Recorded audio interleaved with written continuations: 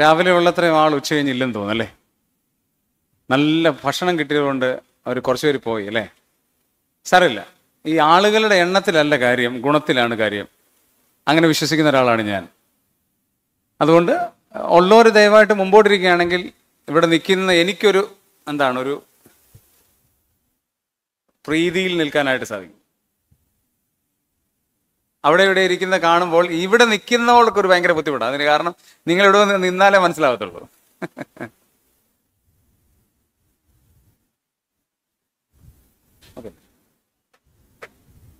Right പ്രാർത്ഥനയോടെ നമുക്കായിരിക്കാം. നമ്മുടെ ഇപ്പോഴത്തെ വിഷയത്തിലേക്ക് വേഗത്തിൽ പോവുകയാണ്.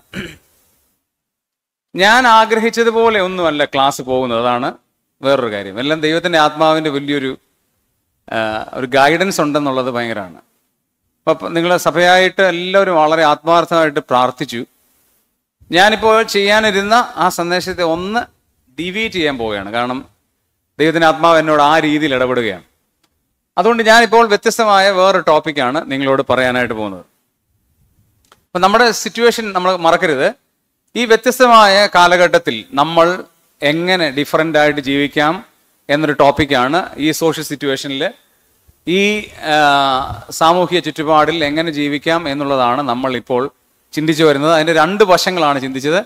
ഒന്ന് ബൈബിളിന്റെ ഇമ്പാക്റ്റ് രണ്ടാമത്തെ കാര്യം നമ്മുടെ കുടുംബജീവിതത്തിലെ പ്രത്യേകിച്ച് യൂത്തിന്റെ സെലക്ഷനോടുള്ള ബന്ധത്തിൽ ഇപ്പം ഞാൻ നിങ്ങളോട് സംസാരിക്കാൻ ആഗ്രഹിക്കുന്നതും യൂത്ത് നമ്മുടെ സമൂഹത്തിൽ നമ്മുടെ സഭയിൽ എങ്ങനെ ആയിരിക്കണം എന്നുള്ള വിഷയമാണ്. ഒരു ഡിഫറെന്റ് പേഴ്സ്പെക്റ്റീവിൽ നിങ്ങളോട് പറയാനായിട്ട് ഞാൻ പോകുന്നത്. നമുക്കറിയാം ചേഞ്ച് എല്ലായിടത്തും ഉണ്ട്. എല്ലായിടത്തും ചേഞ്ച് ആണ്. ഒരു ചിന്തകൻ ഇങ്ങനെയാണ് പറഞ്ഞത് the world change is not changing but everything is changing correct അല്ലേ? The world change is not changing but everything is changing എല്ലാം മാറിക്കൊണ്ടിരിക്കുക മാറ്റം എന്ന വാക്കിന് മാത്രം എന്തില്ല? മാറ്റമില്ല. ഇപ്പൊ ഈ ചേഞ്ചസ് നമ്മുടെ ജീവിതത്തിലെല്ലാം ഉണ്ട്. പണ്ട് നമ്മൾ കണ്ടിട്ടുണ്ട് കാക്ക എന്ത് ചെയ്യുന്നു? ഒരു കല്ല് ഒരു ബോട്ട് പോട്ടിനകത്ത് വെള്ളം ഉണ്ടായിരുന്നു. കാക്ക എന്ത് ചെയ്തു? കല്ലിട്ടു കല്ലിട്ടു കല്ലിട്ടു വെള്ളം പൊങ്ങി വന്നു. അതിനെ കുടിച്ചു. ഇപ്പോഴത്തെ കാക്ക മാറി. സ്ട്രോ ഇട്ട് കുടിക്കുന്ന കാക്കയായി മാറി. നമുക്ക് മാത്രമല്ല മാറ്റം കാക്കയ്ക്ക് വരെയും മാറ്റം സംഭവിച്ചുകൊണ്ടിരിക്കുകയാണ്. അത് മാത്രമല്ല പണ്ടാണെങ്കിൽ നമ്മൾ ഈ കിളികൾ കൂട് കൂട്ടുന്ന ഇതുപോലുള്ള ചെറിയ ഇല്ലകളും വള്ളികളും ഒക്കെ വെച്ചായിരുന്നു. ഇപ്പം അത് കിട്ടാതായതോ എന്ന് എനിക്കറിയില്ല ഇപ്പം കൂട് കൂട്ടുന്നത് ഹാങ്കർ കൊണ്ടൊക്കെയാണ്. കാരണം കാക്കയ്ക്കും മാറ്റം വന്നു. അഡ്വാൻസ് ടെക്നോളജി നമ്മളൊക്കെ വളരെ മൾട്ടിനാഷണൽ ഹോട്ടലിൽ കഴിയുമ്പോൾ അവർ വിചാരിച്ചു അവരെന്തുകൊണ്ട് മാറുന്നില്ല? ഞങ്ങളൊന്ന് മാറി നോക്കാം എന്ന് അവർ വിചാരിക്കുകയാണ്. പണ്ട് അപ്പനും മോനുമായിട്ടൊക്കെ എന്തോ സ്നേഹത്തിലായിരുന്നു. ഇപ്പം അപ്പനും അമ്മയും അപ്പനും മോനും ഒക്കെ ആയിട്ട് മൊബൈലിൽ നോക്കിക്കൊണ്ട് ഇങ്ങനെ കിടക്കുക. അപ്പനൊരു ഫോൺ മോനൊരു ഫോൺ ആ രീതിയിലാണ് കാര്യങ്ങൾ. അപ്പോൾ ചേഞ്ചസ് സംഭവിക്കുന്നത് എവിടെയെല്ലാം നോക്കുക ഇപ്പൊ കുടുംബം എല്ലാവരോടും ഒരുമിച്ച് ചേർ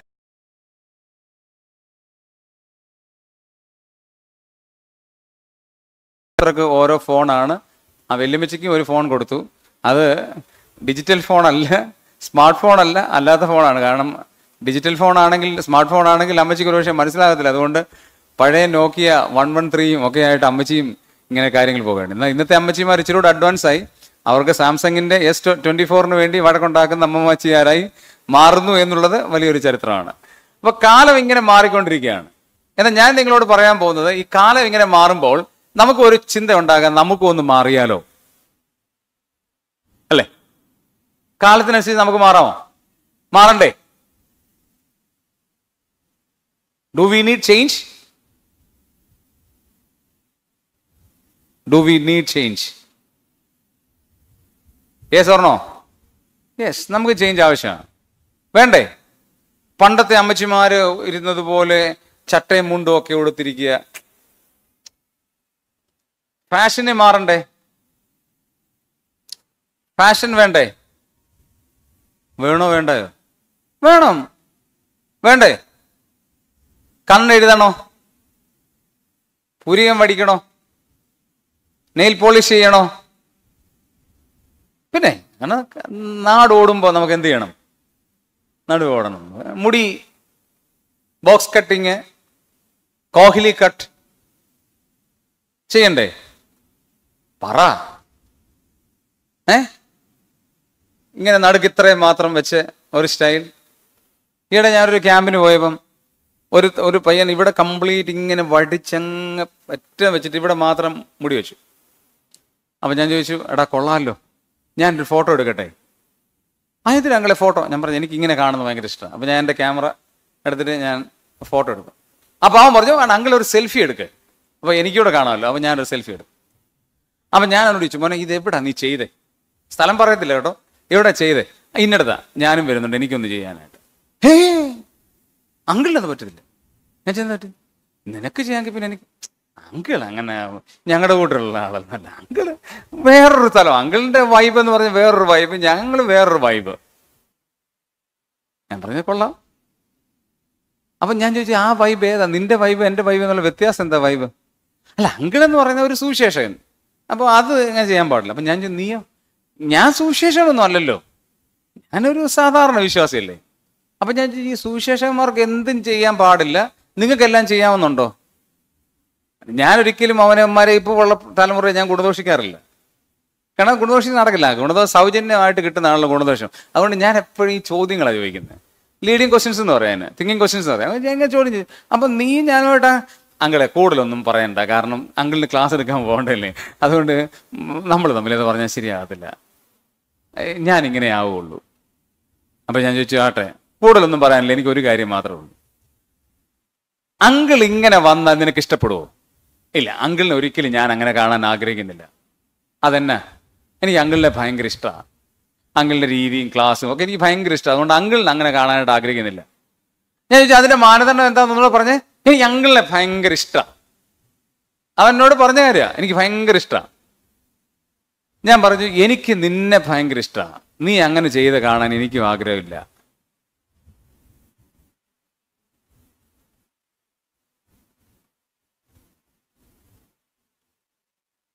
മനസ്സിലായോ? ഞാൻ പറഞ്ഞു എനിക്ക് നിന്നെ ഭയങ്കര ഇഷ്ടമാണ് നീ അങ്ങനെ കാണാനായിട്ട് എനിക്കും എന്തില്ല? ആഗ്രഹമില്ല. അണ്ണ ചോദിച്ചു ഞാൻ എന്ത് വേണം? നമുക്ക് തീരുമാനം നിന്റെ എന്നോട് എനിക്കൊന്നും തീരുമാനം പറയാനില്ല. നീ നല്ല വൃത്തിക്ക് അപ്പയ്ക്കും അമ്മയ്ക്കും ഇഷ്ടമുള്ള പോലെ മുടിയൊക്കെ വെട്ടി ദീശയൊക്കെ വെട്ടി നല്ല ഡീസന്റ് ആയിട്ട് എനിക്കൊരു ഫോട്ടോ അയച്ചു തരണമെന്ന് പറഞ്ഞു. അപ്പൊ ഞാൻ ഓർത്ത് അവൻ ചെയ്തു കാണൂല എന്ന് വിചാരിച്ചു. കാരണം പിള്ളേർ പോകുമ്പോൾ ഇങ്ങനെ നടക്കത്തില്ലോ എന്ന് ചോദിച്ചു. പക്ഷെ ഒരാഴ്ചയായി രണ്ടാഴ്ചയായി എന്നിട്ടും ഫോട്ടോ ഇല്ല. ഒരാഴ്ച മൂന്നാമത്തെ ആഴ്ചയായപ്പം വാട്സപ്പിൽ എനിക്കൊരു ഫോട്ടോ എനിക്ക് ആളിനെ മനസ്സിലായില്ല. കാരണം അവന്റെ നോർമൽ ഷേപ്പിൽ വന്നപ്പോൾ എനിക്ക് ആളിനെ മനസ്സിലായില്ല. ഫോട്ടോ മാത്രം വന്നു. ഞാൻ തിരിച്ചയച്ചു ഇത് ആരാണ്? എന്താണ്? ഏതാണെന്ന്? ഞാൻ ചോദിച്ചു ഇങ്ങനെ ഞാൻ പറഞ്ഞു അങ്കിളെ ഇന്ന ക്യാമ്പിൽ വെച്ച് മലബാർ ഡിവിഷൻ ക്യാമ്പെന്ന് അങ്ങ് പറയാം. കഴിഞ്ഞ മലബാർ ഡിവിഷൻ ക്യാമ്പിൽ ഡിസംബറിൽ നടന്ന ക്യാമ്പിൽ ഞാൻ അങ്കിളുമായിട്ട് സംസാരിച്ചത് ഓർമ്മയില്ലേ? ആ ആ പെട്ടെന്ന് ഞാൻ ഓർത്തു ഞാൻ പറഞ്ഞു, ആ ഇപ്പൊ എനിക്ക് മനസ്സിലായി എന്ന് പറഞ്ഞു. ഞാൻ മുഖവര പറഞ്ഞത് നിങ്ങൾക്ക് മനസ്സിലായി. നമുക്കെല്ലാവർക്കും ഒരു കാര്യമുണ്ട്. ഞാൻ രാവിലെ പറഞ്ഞൊരു കാര്യം. നമ്മളെല്ലാവരും ജീവിക്കുന്നത് ഡിസിഷന്റെ പുറത്താണ് അല്ലേ? ദിവസം തുടങ്ങുന്നത് എങ്ങനെ? ഡിസിഷൻ. ആണോ അല്ലയോ?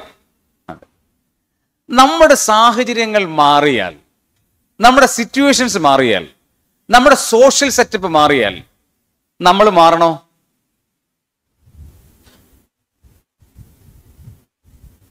നമ്മൾ മാറണോ? പറ. നമ്മുടെ സോഷ്യൽ സെറ്റപ്പ് മാറുകയാണ്. നമ്മുടെ സ്കൂളിലുള്ള നമ്മുടെ സ്റ്റുഡൻസിന്റെ സെറ്റപ്പ് മാറുകയാണ്. കോളേജിലുള്ള നമ്മുടെ സ്റ്റുഡൻസിന്റെ നമ്മുടെ കൂടെയുള്ള സഹപ്രവർത്തകരുടെ സിസ്റ്റം മാറിക്കൊണ്ടിരിക്കുകയാണ്. അവർ ഭയങ്കര ഫാഷനബിൾ ആകുന്നു. പല വ്യത്യസ്തമായ കാര്യങ്ങൾ ചെയ്യുന്നു. അപ്പൊ അവർക്കനുസരിച്ച് ഞാനും മാറാമോ? മാറണ്ടേ? ഉത്തരവില്ലെങ്കിൽ എന്റെ ക്ലാസ് ഇല്ല മാറണോ വേണ്ടയോ? വേണ്ട. വേണ്ടെന്നാണ് അവർ പറഞ്ഞു മാറണം. മാറണം. അല്ലേ? മാറണം. എന്റെ ഉത്തരം മാറണമെന്നാണ്. പക്ഷെ എങ്ങോട്ട് മാറണമെന്നുള്ളതാണ് പ്രശ്നം. ഞാൻ ഒരു വ്യക്തിയെ നിങ്ങൾക്ക് പരിചയപ്പെടുത്താൻ പോവാണ്. ആ വ്യക്തി മറ്റാരുമല്ല ഡാനിയേൽ എന്ന് പറയുന്ന ഒരാളാണ്. ആരാണ്? ദാനിയേൽ ദാനിയേൽ ഈ ലോകത്ത് ജീവിച്ച സമയത്ത് അവന്റെ ലൈഫിൽ എന്തെല്ലാം മാറ്റങ്ങൾ ഉണ്ടായെന്ന് അറിയോ ദാനിയേലിന്റെ സമയത്ത് ദാനിയേലിന് ബൈബിൾ ഉണ്ടായിരുന്നോ? ഉറക്കെ പറയണം. അല്ലെ ഞാൻ അങ്ങോട്ട് ഇറങ്ങി വരും. ഈ റെക്കോർഡ് ചെയ്യുന്നതുകൊണ്ട് ഞാൻ ഇവിടെ നിൽക്കുന്നത് ദാനിയേലിന്റെ സമയത്ത് പഴയ നിയമം ഉണ്ടായിരുന്നോ? ഓൾട്ടസ്റ്റ്മെന്റ് ഉണ്ടായിരുന്നോ? ഇല്ല. ഉണ്ടായിരുന്നോ? ഇല്ല. ഇന്നത്തെ പോലെ ബൈബിൾ ക്ലാസ് ഉണ്ടായിരുന്നോ? ഇല്ല. യൂത്ത് ക്യാമ്പ് ഉണ്ടായിരുന്നോ? ഇല്ല. ദാനിയിൽ ഏതെങ്കിലും യൂത്ത് ക്യാമ്പിന് പോയോ? ഇല്ല. ഇന്നത്തെ പോലെ റിലീജിയസ് ലീഡേഴ്സ് ഉണ്ടായിരുന്നോ. നമ്മുടെ ഇടയിലുള്ള ആത്മീയ നേതൃത്വം പോലെ ആത്മീയ നേതൃത്വം അന്ന് ഉണ്ടായിരുന്നോ? ഇല്ല. ഉണ്ടായിരുന്നോ? മറുപടി പറയണം. ഇല്ല. എന്നിട്ടും എന്നിട്ടും ഇസഹാക്ക് ദാനിയേൽ മോശ യോശുവ പോൾ എന്നിവരെന്ത് ചെയ്തു? ഡിഫറെന്റ് ആയിട്ട് ജീവിച്ചു. നമുക്ക് ദാനിയലിന്റെ പുസ്തകം ഒന്ന് എടുത്ത് എല്ലാവരും ബൈബിളും തുറന്നു വെച്ചു. ഇതൊരു ക്ലോസിംഗ് മെസ്സേജ് ആയതുകൊണ്ട് ഞാൻ അതിനെ ബേസ് ചെയ്താണ് നിങ്ങളോട് മുമ്പോട്ട് പോകുന്നത്. ദാനിയേൽ പ്രവചനം. ദാനിയേലിന്റെ പുസ്തകത്തിനകത്ത് ഇതൊരു പ്രസംഗ രീതിയിലല്ല കേട്ടോ. പ്രസംഗ രീതി എനിക്ക് പ്രസംഗിക്കാനും അറിയാം കൺവെൻഷൻ പ്രസംഗിക്കാനും അറിയാം പക്ഷേ ഇത് പ്രസംഗമല്ല. കാരണം നമ്മൾ എനിക്ക് ഞാൻ പറയുന്ന കാര്യം നിങ്ങൾ ശരിക്കും മനസ്സിലാക്കാൻ വേണ്ടി ഒരു ടോക്കറ്റീവ് രീതിയിലാണ് ഞാൻ പോകാൻ ഉദ്ദേശിക്കുന്നത്. കാരണം ഞാൻ പറയുന്ന കാര്യം നിങ്ങൾ ശരിക്കും മനസ്സിലാക്കണം. ദാറ്റ്സ് ഓൾ അതുകൊണ്ട് അത് മാത്രമാണ് എന്റെ വിഷയം. ദാനിയൽ പ്രവചനം ഒന്നാം അധ്യായം ദാനിയേലിന് സംഭവിച്ച ചില ചേഞ്ചസ് ആണ് ഞാൻ പറയാൻ പോകുന്നത്. എന്തെല്ലാം ചേഞ്ച് ദാനിയലിന് സംഭവിച്ചു? വായിക്കാം. ഒന്നാം അധ്യായം ഒന്നും രണ്ടും വാക്യങ്ങൾ വായിക്കാം. യഹൂദ രാജാവായ യഹോയാക്കീവിന്റെ മൂന്നാം വണ്ടിയിൽ ബാബേൽ രാജാവായ നെബൂക്കന്നസർ ഉരുസലേമിലേക്ക് വന്ന് അതിനെ നിരോധിച്ചു. കർത്താവ് യഹൂദ രാജാവായ യഹോയാക്കീവിനെയും ദൈവത്തിന്റെ ആലയത്തിലെ പാത്രങ്ങളിൽ ചിലതിനെയും അവന്റെ കയ്യിൽ ഏൽപ്പിച്ചു. അവൻ അവയെ ഷിനാർ ദേശത്ത് തന്റെ ദേവന്റെ ക്ഷേത്രത്തിലേക്ക് കൊണ്ടുപോയി. ആ പാത്രങ്ങളെ അവൻ തന്റെ ദേവന്റെ ഭണ്ഡാരഗ്രഹത്തിൽ വെച്ചു. ഇപ്പൊ ദാനിയലിന്റെ ജീവിതത്തിൽ സംഭവിച്ച ഒന്നാമത്തെ മാറ്റം ഞാൻ പറയാൻ പോകുന്നത്. എന്ത് സംഭവിച്ചു? ദാനിയലിന്റെ ദേശം മാറി. ഇപ്പൊ ദാനിയൽ എവിടായി? ഇത്രയും നാൾ ദാനിയേൽ എവിടായിരുന്നു? തന്റെ സ്വന്തം ദേശത്തായിരുന്നു. എവിടെ? ഇസ്രയേലിലായിരുന്നു. ഇപ്പൊ എവിടായി? പറഞ്ഞാട്ടെ എവിടായി? കേട്ടില്ല ഉറക്കെ പറയണം. എവിടായി? ബാബേലിലായി. ബാബേലിൽ ഇപ്പൊ ആരാ? പ്രവാസിയാ. എവിടായി? പ്രവാസിയായി പോയിരിക്കുക അപ്പൊ തന്നെ ദേശം മാറി. നിങ്ങളിപ്പോ കുറച്ച് ദിവസം കഴിഞ്ഞു കഴിഞ്ഞാൽ പിന്നെ നിലയിൽ ഒരു പതിനാറ് വയസ്സ് കഴിഞ്ഞാൽ എല്ലാ പേരൻസിന്റെ അടുത്ത് നിന്നും കുട്ടികൾ മാറുകയാണ്. എങ്ങോട്ടാണെന്നറിയോ ദേശം മാറുകയാണ്. ചിലർ മാംഗ്ലൂരിൽ വരും ഞങ്ങളുടെ അങ്ങോട്ട് വരും ബാംഗ്ലൂരിൽ പോവും ചിലർ ചെന്നൈ പോവും കോയമ്പത്തൂർ പോവും ദേശം മാറുകയാണ്. ദാനിയലിനെ ദേശം മാറി. കാരണം നമ്മുടെ കൂട്ട് പഠിക്കാൻ മാറുകയല്ല ചെയ്തത് അവനെ അടിമയാക്കി കൊണ്ടുപോവുകയാണ്. അതാണ് നമ്മൾ വായിക്കുന്നത്. അവന് ദേശം മാറി. പക്ഷെ ദാനിയൽ മാറിയോ? ഏ? പറഞ്ഞോട്ടെ ദാനിയൽ മാറിയോ? ഇല്ല. എന്താ ദാനിയൽ മാറാതിരുന്നത്? നമുക്ക് നോക്കാം.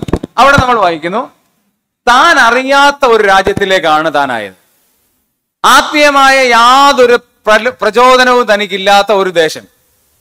തന്നെ അറിയാത്ത ആളുകൾ താൻ അറിയാത്ത ആളുകൾ തന്റെ മാതാപിതാക്കളില്ല ആരുമില്ലാത്ത ഒരു സ്ഥലത്തേക്ക് താൻ മാറി. അങ്ങനെ ആകുമ്പോൾ തനിക്ക് വേണമെങ്കിൽ എന്ത് ചെയ്യാം? തനിക്ക് ഇഷ്ടമുള്ള ജീവിക്കാം. കാരണം നോക്കാൻ ആരുമില്ലല്ലോ. എന്നെ നോക്കാൻ എന്റെ പേരൻസ് ഇല്ല ആത്മീയ ലീഡേഴ്സ് ഇല്ല എനിക്ക് ഇഷ്ടമുള്ള പോലെ ചർച്ചിലുള്ള ആളുകളില്ല എനിക്ക് ഇഷ്ടമുള്ള എനിക്ക് ദാ- ജീവിക്കാം. കാരണം ആരുമില്ല. അപ്പൊ ദാനിയലിന്റെ ദേശം ദാനിയൽ മാറി. രണ്ടാമത്തെ കാര്യത്തിലേക്ക് വരാം. രണ്ടാമത് തന്റെ സ്ഥാനം മാറി. ഹിസ് പൊസിഷൻ ഹാസ് ചേഞ്ച്ഡ് എന്താ അവന്റെ സ്ഥാനം മാറിയത്? ആ വാക്യം ഒന്ന് വായിച്ചേ. ഒന്നാം അധ്യായം നാലാം വാക്യം. ദാനിയിൽ ഇപ്പൊ ആരായെന്ന് നോക്കി. അവിടെ ഒരു പ്രത്യേക പദവിയിലേക്ക് ദാനിയിൽ വരികയാണ്.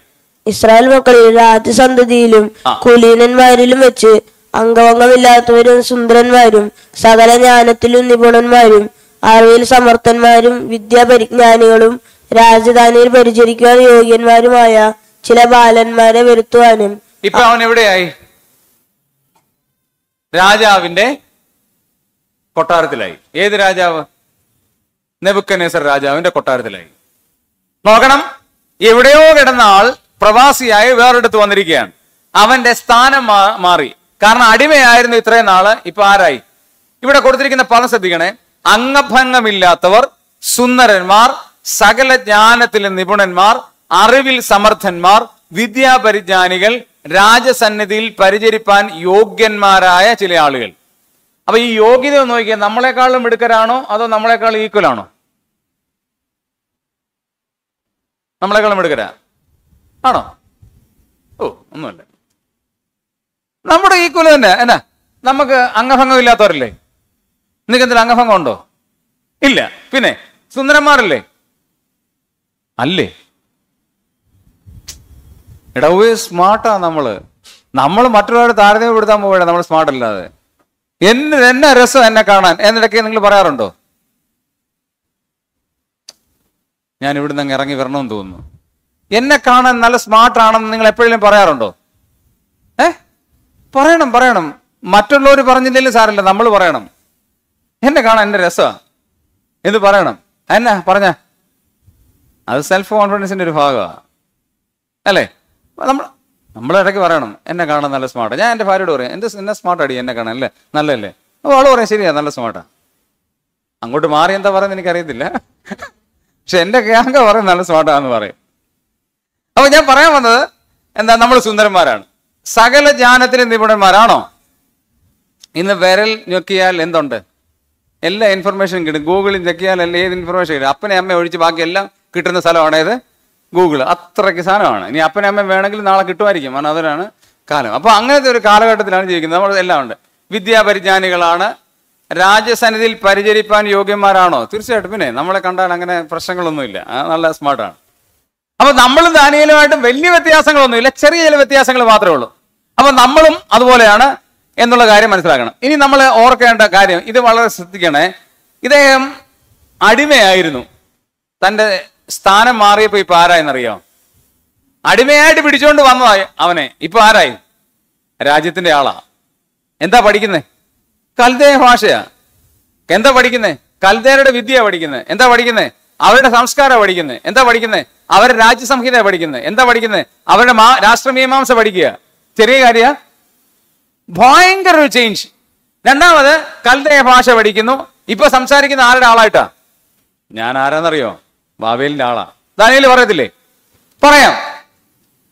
അടിമയായവൻ ഇപ്പൊ ആരുടെ കൂടാ? രാജസന്നിധിയിൽ ശുശ്രൂഷിപ്പാൻ എന്ന് പറഞ്ഞു നമ്മൾ വായിച്ചു. ഇപ്പൊ ആരുടെ കൂടാ? രാജാവിന്റെ സന്തതിയുടെ കൂടെ എന്ത് ചെയ്യുക ഇരിക്കുക. നമ്മളും പാടല്ലേ? കുപ്പയിൽ നിന്നുയർത്തി നീ ശ്രേഷ്ഠരാം ഒപ്പമിരുത്തി എന്നെ നൽഭുതം പരാ മനുവേല വന്ദനം. മണ്ണിലേകനായി മനുജാതിക്കായി വന്നതാം ഉന്നതാധിപ മനുവേല വന്ദനം. പാടാറില്ലേ നിന്നാ ഉയർത്തിയേ? കുപ്പയിൽ നിന്ന്. അപ്പൊ നമ്മളിപ്പോ ഉന്നതമായ നിലയിലാണോ? നമുക്ക് പലപ്പോഴും അറിയത്തില്ല നമ്മൾ ഉന്നതമായ നിലയിലാണോ ഇല്ലയോ എന്ന് നമ്മളിപ്പോ എങ്ങനെയാ ജീവിക്കുന്നത് ഓ എനിക്ക് വലിയ കഴിവൊന്നുമില്ല. എന്നെ കൊണ്ട് എന്തിനു കൊള്ളാം? എന്നൊക്കെയാണ് നമ്മൾ ചിന്തിക്കുന്നത്. എനിക്കെല്ലാം കഴിയാം എന്നുള്ളതല്ല എനിക്കെല്ലാം കഴിയും എന്നുള്ളത് അഹങ്കാരവും എന്നെ കൊണ്ട് സാധിക്കും എന്നുള്ളത് ആത്മവിശ്വാസവുമാണ്. ആത്മവിശ്വാസവും അഹങ്കാരവും ഒരു നാണയത്തിന്റെ രണ്ട് വശങ്ങളാണ്. എനിക്കെല്ലാം സാധിക്കും എന്ന് പറയുന്നത് അഹങ്കാരമാണ്. എന്നെ കൊണ്ട് സാധിക്കുമെന്ന് പറയുന്നത് കോൺഫിഡൻസ് ആണ്.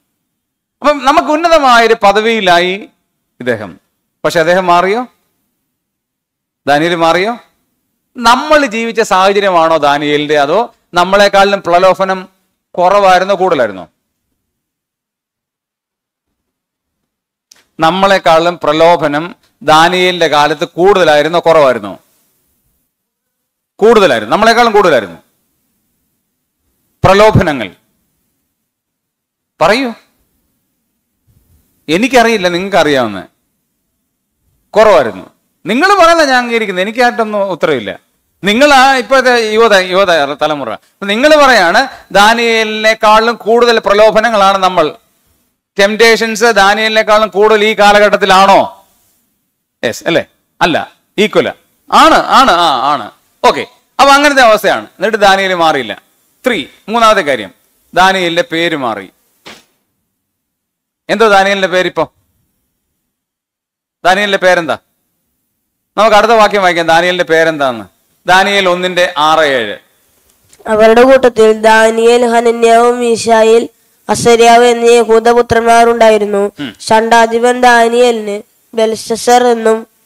ഹനന്യാവിന് ശദ്രക്കെന്നും മീശായലിന് മേശക്കെന്നും അസര്യാവിന് അഭേദനകോ എന്നും പേര് വിളിച്ചു. ആ ഇവിടെ ഏറ്റവും ഇൻട്രസ്റ്റിംഗ് ആയ ഒരു കാര്യമുണ്ട്. നിങ്ങൾ ശ്രദ്ധിച്ചാൽ മനസ്സിലാവും. ഇവർക്ക് നാല് പേർക്കും ഓരോ പേര് കൊടുത്തു. ആ പേര് എഴുതിയിട്ടുണ്ട്. ദാനിയലിന് ബെൽസസർ എന്ന് വിളിച്ചു. ഹനന്യാവിനെ ശദ്രക് എന്ന് വിളിച്ചു. മീശായലിനെ മേശക് എന്ന് വിളിച്ചു. അസരിയാവിന് അബേനഗോ എന്ന് വിളിച്ചു. നമ്മൾ ഈ പേരെല്ലാം മലയാളീകരിച്ചാ പറയുന്നത് ചന്ദ്രക്ക് മേശക്ക് എന്നൊക്കെ നമ്മൾ പറയുന്നത് ചന്ദ്രക്കല്ല ശദ്രക്. അപ്പൊ നമ്മൾ മലയാളം പറയുന്ന പോലെ അവരെ ഇങ്ങനെ പറയാണ്. ഓക്കെ ഇനി പോട്ടെ. അപ്പൊ ഇവിടെ ഇവരുടെ പേര് നാല് പേരും പേര് ചേഞ്ച് ചെയ്തു. നമ്മുടെ പേര് ചേഞ്ച് ആയോ? ഏ? ആ ചേഞ്ച് ആയി. എന്തായിരുന്നു നമ്മുടെ മുമ്പുള്ള പേര്? എഫ് എസ് ലേഖൻ രണ്ടാം അധ്യായത്തിൽ നമ്മൾ വായിക്കുന്നു മുമ്പ് നിങ്ങൾ അതിക്രമങ്ങളാലും പാപങ്ങളാലും മരിച്ചവരായിരുന്നു. ഈ ലോകത്തെയും അവയിലെ കാലഗതി അനുസരിച്ച് അനുസരണക്കേടിന് മക്കൾ ഇപ്പോൾ വ്യാപരിക്കുന്ന ആത്മാവിനെയും അധിപതിയായവനെയും അനുസരിച്ച് നടന്നു. മുമ്പേ? മുമ്പേ? ആ ദൂരസ്ഥരായിരുന്നു. പിന്നെ ആകയാൽ നമ്മളെ ഇസ്രയേൽ പൗരതയോട് സംബന്ധമില്ലാത്തവരും വാഗ്ദത്തങ്ങൾക്ക് അന്യരും ലോകത്തിൽ പ്രത്യാശയില്ലാത്തവരും ആയിരുന്നു. ഇതെല്ലാവരും നമ്മുടെ യോഗ്യത അല്ലേ? ഇപ്പൊ നമുക്ക് എന്ത് പേര് കിട്ടി? ഒന്ന് യോഹന്നാൻ മൂന്നിന്റെ ഒന്ന്. കാണാതെ അറിയാം എന്താ? കാൺമീൻ. നാം ദൈവമക്കളെന്ന് വിളിക്കപ്പെടുവാൻ പിതാവ് എത്ര വലിയ സ്നേഹം നൽകിയിരിക്കുന്നു. ഇപ്പൊ നമ്മുടെ പേരെന്താ? ദൈവമക്കൾ. എന്തിനാ ഈ പേര് തന്നിരിക്കുന്നത് why God has put your name or why the parents give a name ഞാനൊരു കല്യാണത്തിന് പോയി. ആ കല്യാണത്തിന് സ്റ്റേജിലോട്ട് തന്നെ അവരാനയിച്ചു ആ സ്റ്റേജിൽ ഇരിക്കുകയാണ്. ആ ഫാമിലിയായിട്ട് ഭയങ്കര ബന്ധമുള്ളതുകൊണ്ട് ഞാൻ സ്റ്റേജിലിരിക്കുന്നു അപ്പം പ്രാർത്ഥിക്കേണ്ട സമയമായി. പ്രാർത്ഥിക്കാനായിട്ട് അല്ലെ ശുശ്രൂഷ തുടങ്ങി. തുടങ്ങിയപ്പം ഈ പ്രസംഗത്തിന് മുമ്പ് ഒരു പ്രാർത്ഥനയുണ്ട്. സാറിന് കല്യാണത്തിനുണ്ടല്ലോ. അപ്പോൾ അവിടെ ഇരുന്ന സ്റ്റേജിലിരുന്ന ആൾ വിളിച്ചു. ഇപ്പോൾ റെജി തോമസ് വന്ന് പ്രാർത്ഥിക്കുന്നതാണ്. ഞാൻ അങ്ങോട്ട് എഴുന്നേക്കുകയും വേറൊരാൾ പോയി സ്റ്റേജ് എന്നിരുന്ന് നല്ലതായിട്ട് പ്രാർത്ഥിച്ചു. ഞാൻ കൊണ്ടടിച്ചു ഇതന്നെ അപ്പൊ ഞാൻ ഓർത്തിട്ട് കെ തോമസിനെ വിളിച്ചപ്പോൾ പുള്ളി എന്തിനാ കയറിപ്പോയെ. അപ്പൊ ഞാൻ ഓർത്തിട്ട് ഇതെന്നാ പറ്റി? ഇത് ആ പാടെ പ്രശ്നമല്ലോ. പുള്ളിയുടെ പേര് അപ്പൊ പുള്ളി അവിടെ പോയി മാന്യമായിട്ടിരുന്നു. എല്ലാവരും അവിടെ എന്നെ അറിയാവുന്നവരെല്ലാം ഇങ്ങനെ നോക്കിയിരിപ്പുണ്ട്. അപ്പൊ ഞാനും മണ്ടടിച്ചിട്ട് ഇത് എന്റെ പേര് വിളിച്ചിട്ട് ഈ പുള്ളി എന്തിനാ? അപ്പൊ വീട്ടുകാർക്ക് മനസ്സിലായി. ഈ സ്റ്റേജിൽ നിൽക്കുന്ന പുള്ളിക്ക് മനസ്സിലായി. സ്റ്റേജിൽ നിൽക്കുന്ന പുള്ളി എന്നെ വിളിച്ചിട്ട് എന്നെ അടുത്ത് അടുത്തെന്ന് പറഞ്ഞു പേടിക്കണ്ട. അടുത്ത അവസരം തരാം. അതും റെജി കെ തോമസ് ആന്ന് പറഞ്ഞു. അദ്ദേഹം റെജി കെ തോമസ് മാവേലിക്കരയാണ് ഐ എമ്മിന്റെ ഒരു പ്രവർത്തകനാണ്. പുള്ളി അവിടെ ഒരു ബയൽക്കോളം നടത്തുന്നു. നമ്മുടെ എം വി മത്തായിച്ചാന്റെ അവിടെ ബയൽക്കോളം നടത്തുന്ന. വേറെ റജി കെ തോമസാ. അപ്പം ഞങ്ങൾ രണ്ടുപേരെയും വിളിച്ചു. റജി കെ തോമസ് നെല്ലിയാടി എന്ന് പറഞ്ഞായിരുന്നു ഞാൻ വന്നേനെ. മാവേലിക്കര എന്നും പറഞ്ഞില്ല. റജി കെ തോമസ് എന്ന് മാത്രമേ പറഞ്ഞുള്ളൂ. പുള്ളി എഴുന്നേറ്റ് പ്രാർത്ഥിച്ചു. ദാറ്റ്സ് ഓൾ പേരെന്തിനു വേണ്ടിയുള്ളതാ? ഐഡന്റിഫിക്കേഷനാണ് പേരെന്തിനുള്ളതാ? നമ്മളെ ഐഡന്റിഫൈ ചെയ്യാനുള്ളതാണ്. പേരെന്തിനുള്ളതാ? നമ്മളുടെ യുണീക്നെസ് ആണ് വ്യക്തിത്വത്തിന്റെ ഒരു അല്ലേ? ഇപ്പൊ റെജി കെ തോമസ് എന്ന് പറഞ്ഞാൽ നിങ്ങളുടെ മനസ്സിലേക്ക് പെട്ടെന്ന് വരുന്ന എന്റെ മുഖമാണ് അല്ലേ?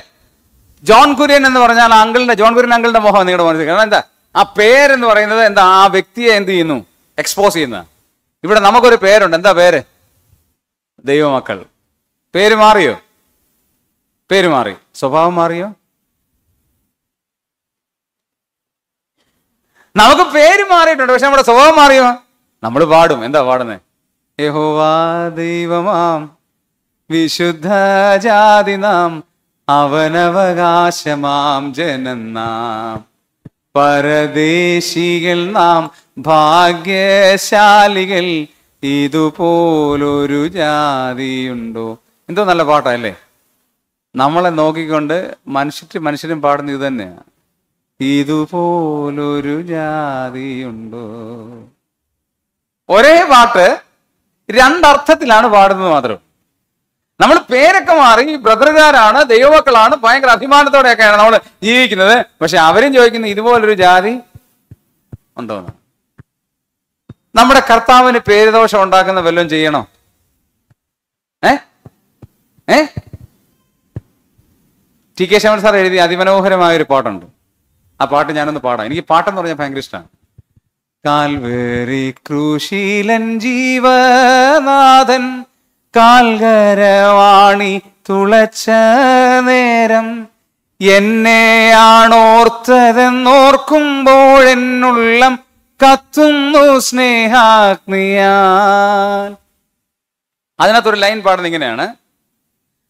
തന്റെ ഹൃദയത്തിൻ വേദനയേകുന്ന ഒന്നുമേ ചെയ്തിടുമോ? ഏതുമേ ചെയ്തിടുമോ? തന്റെ ഹൃദയത്തിൻ വേദന ഏത് ഏതുമേ ചെയ്തിടുമോ?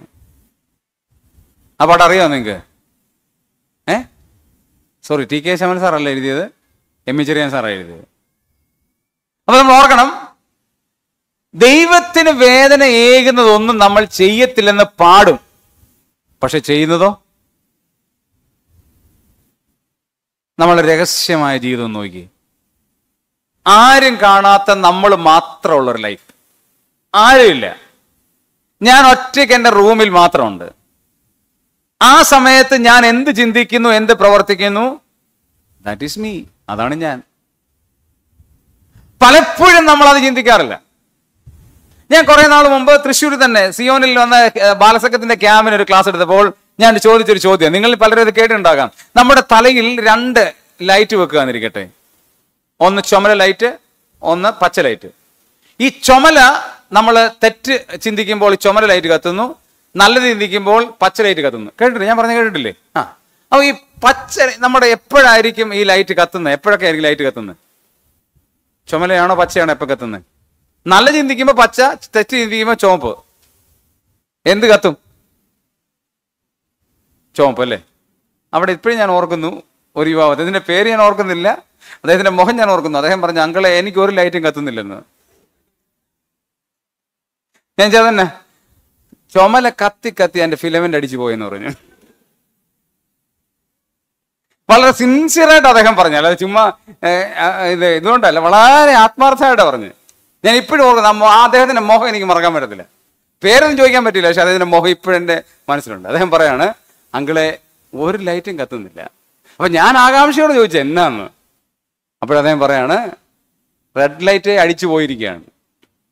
പേരെന്താ? ദൈവമക്കൾ. ചെയ്യുന്ന പ്രവൃത്തിയോ? പറഞ്ഞാട്ടെ പിശാശിന്റെ. പക്ഷെ ദാനിയേൽ മാറിയോ?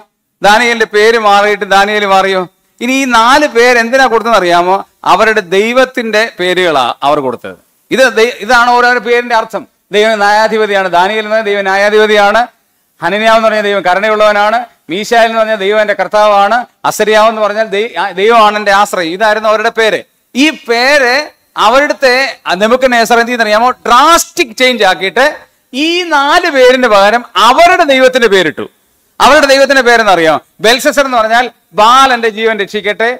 ശദ്രക് എന്ന് പറഞ്ഞാൽ സൂര്യദേവനാൽ പ്രകാശിക്കപ്പെടുന്നവൻ. മേശക് എന്ന് പറഞ്ഞാൽ ഇസ്താറാണ് ആരാകുന്നു ഇസ്താർ എന്ന് പറഞ്ഞാൽ അവിടുത്തെ ദൈവമാണ്.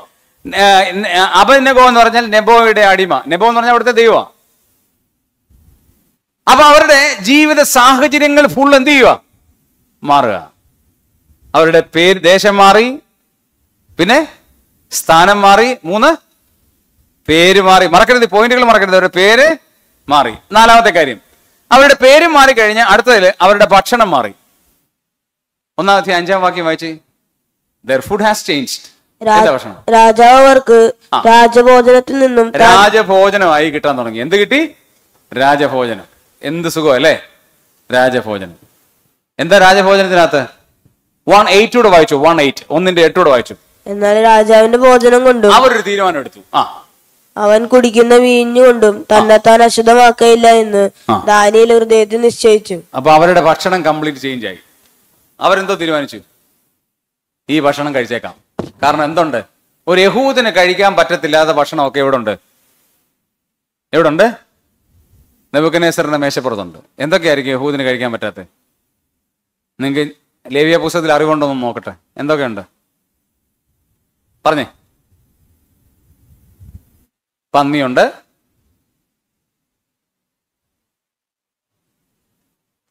ലേവ്യ പുസ്തകം വായിച്ചിട്ടുണ്ടോ? ഏ? ഉണ്ടോ? ലേവ്യ പുസ്തകം വായിച്ചിട്ടുണ്ടോ എന്ന് എന്നാ പറ. പന്നിയുണ്ട്. അത് മാത്രം അറിയാം.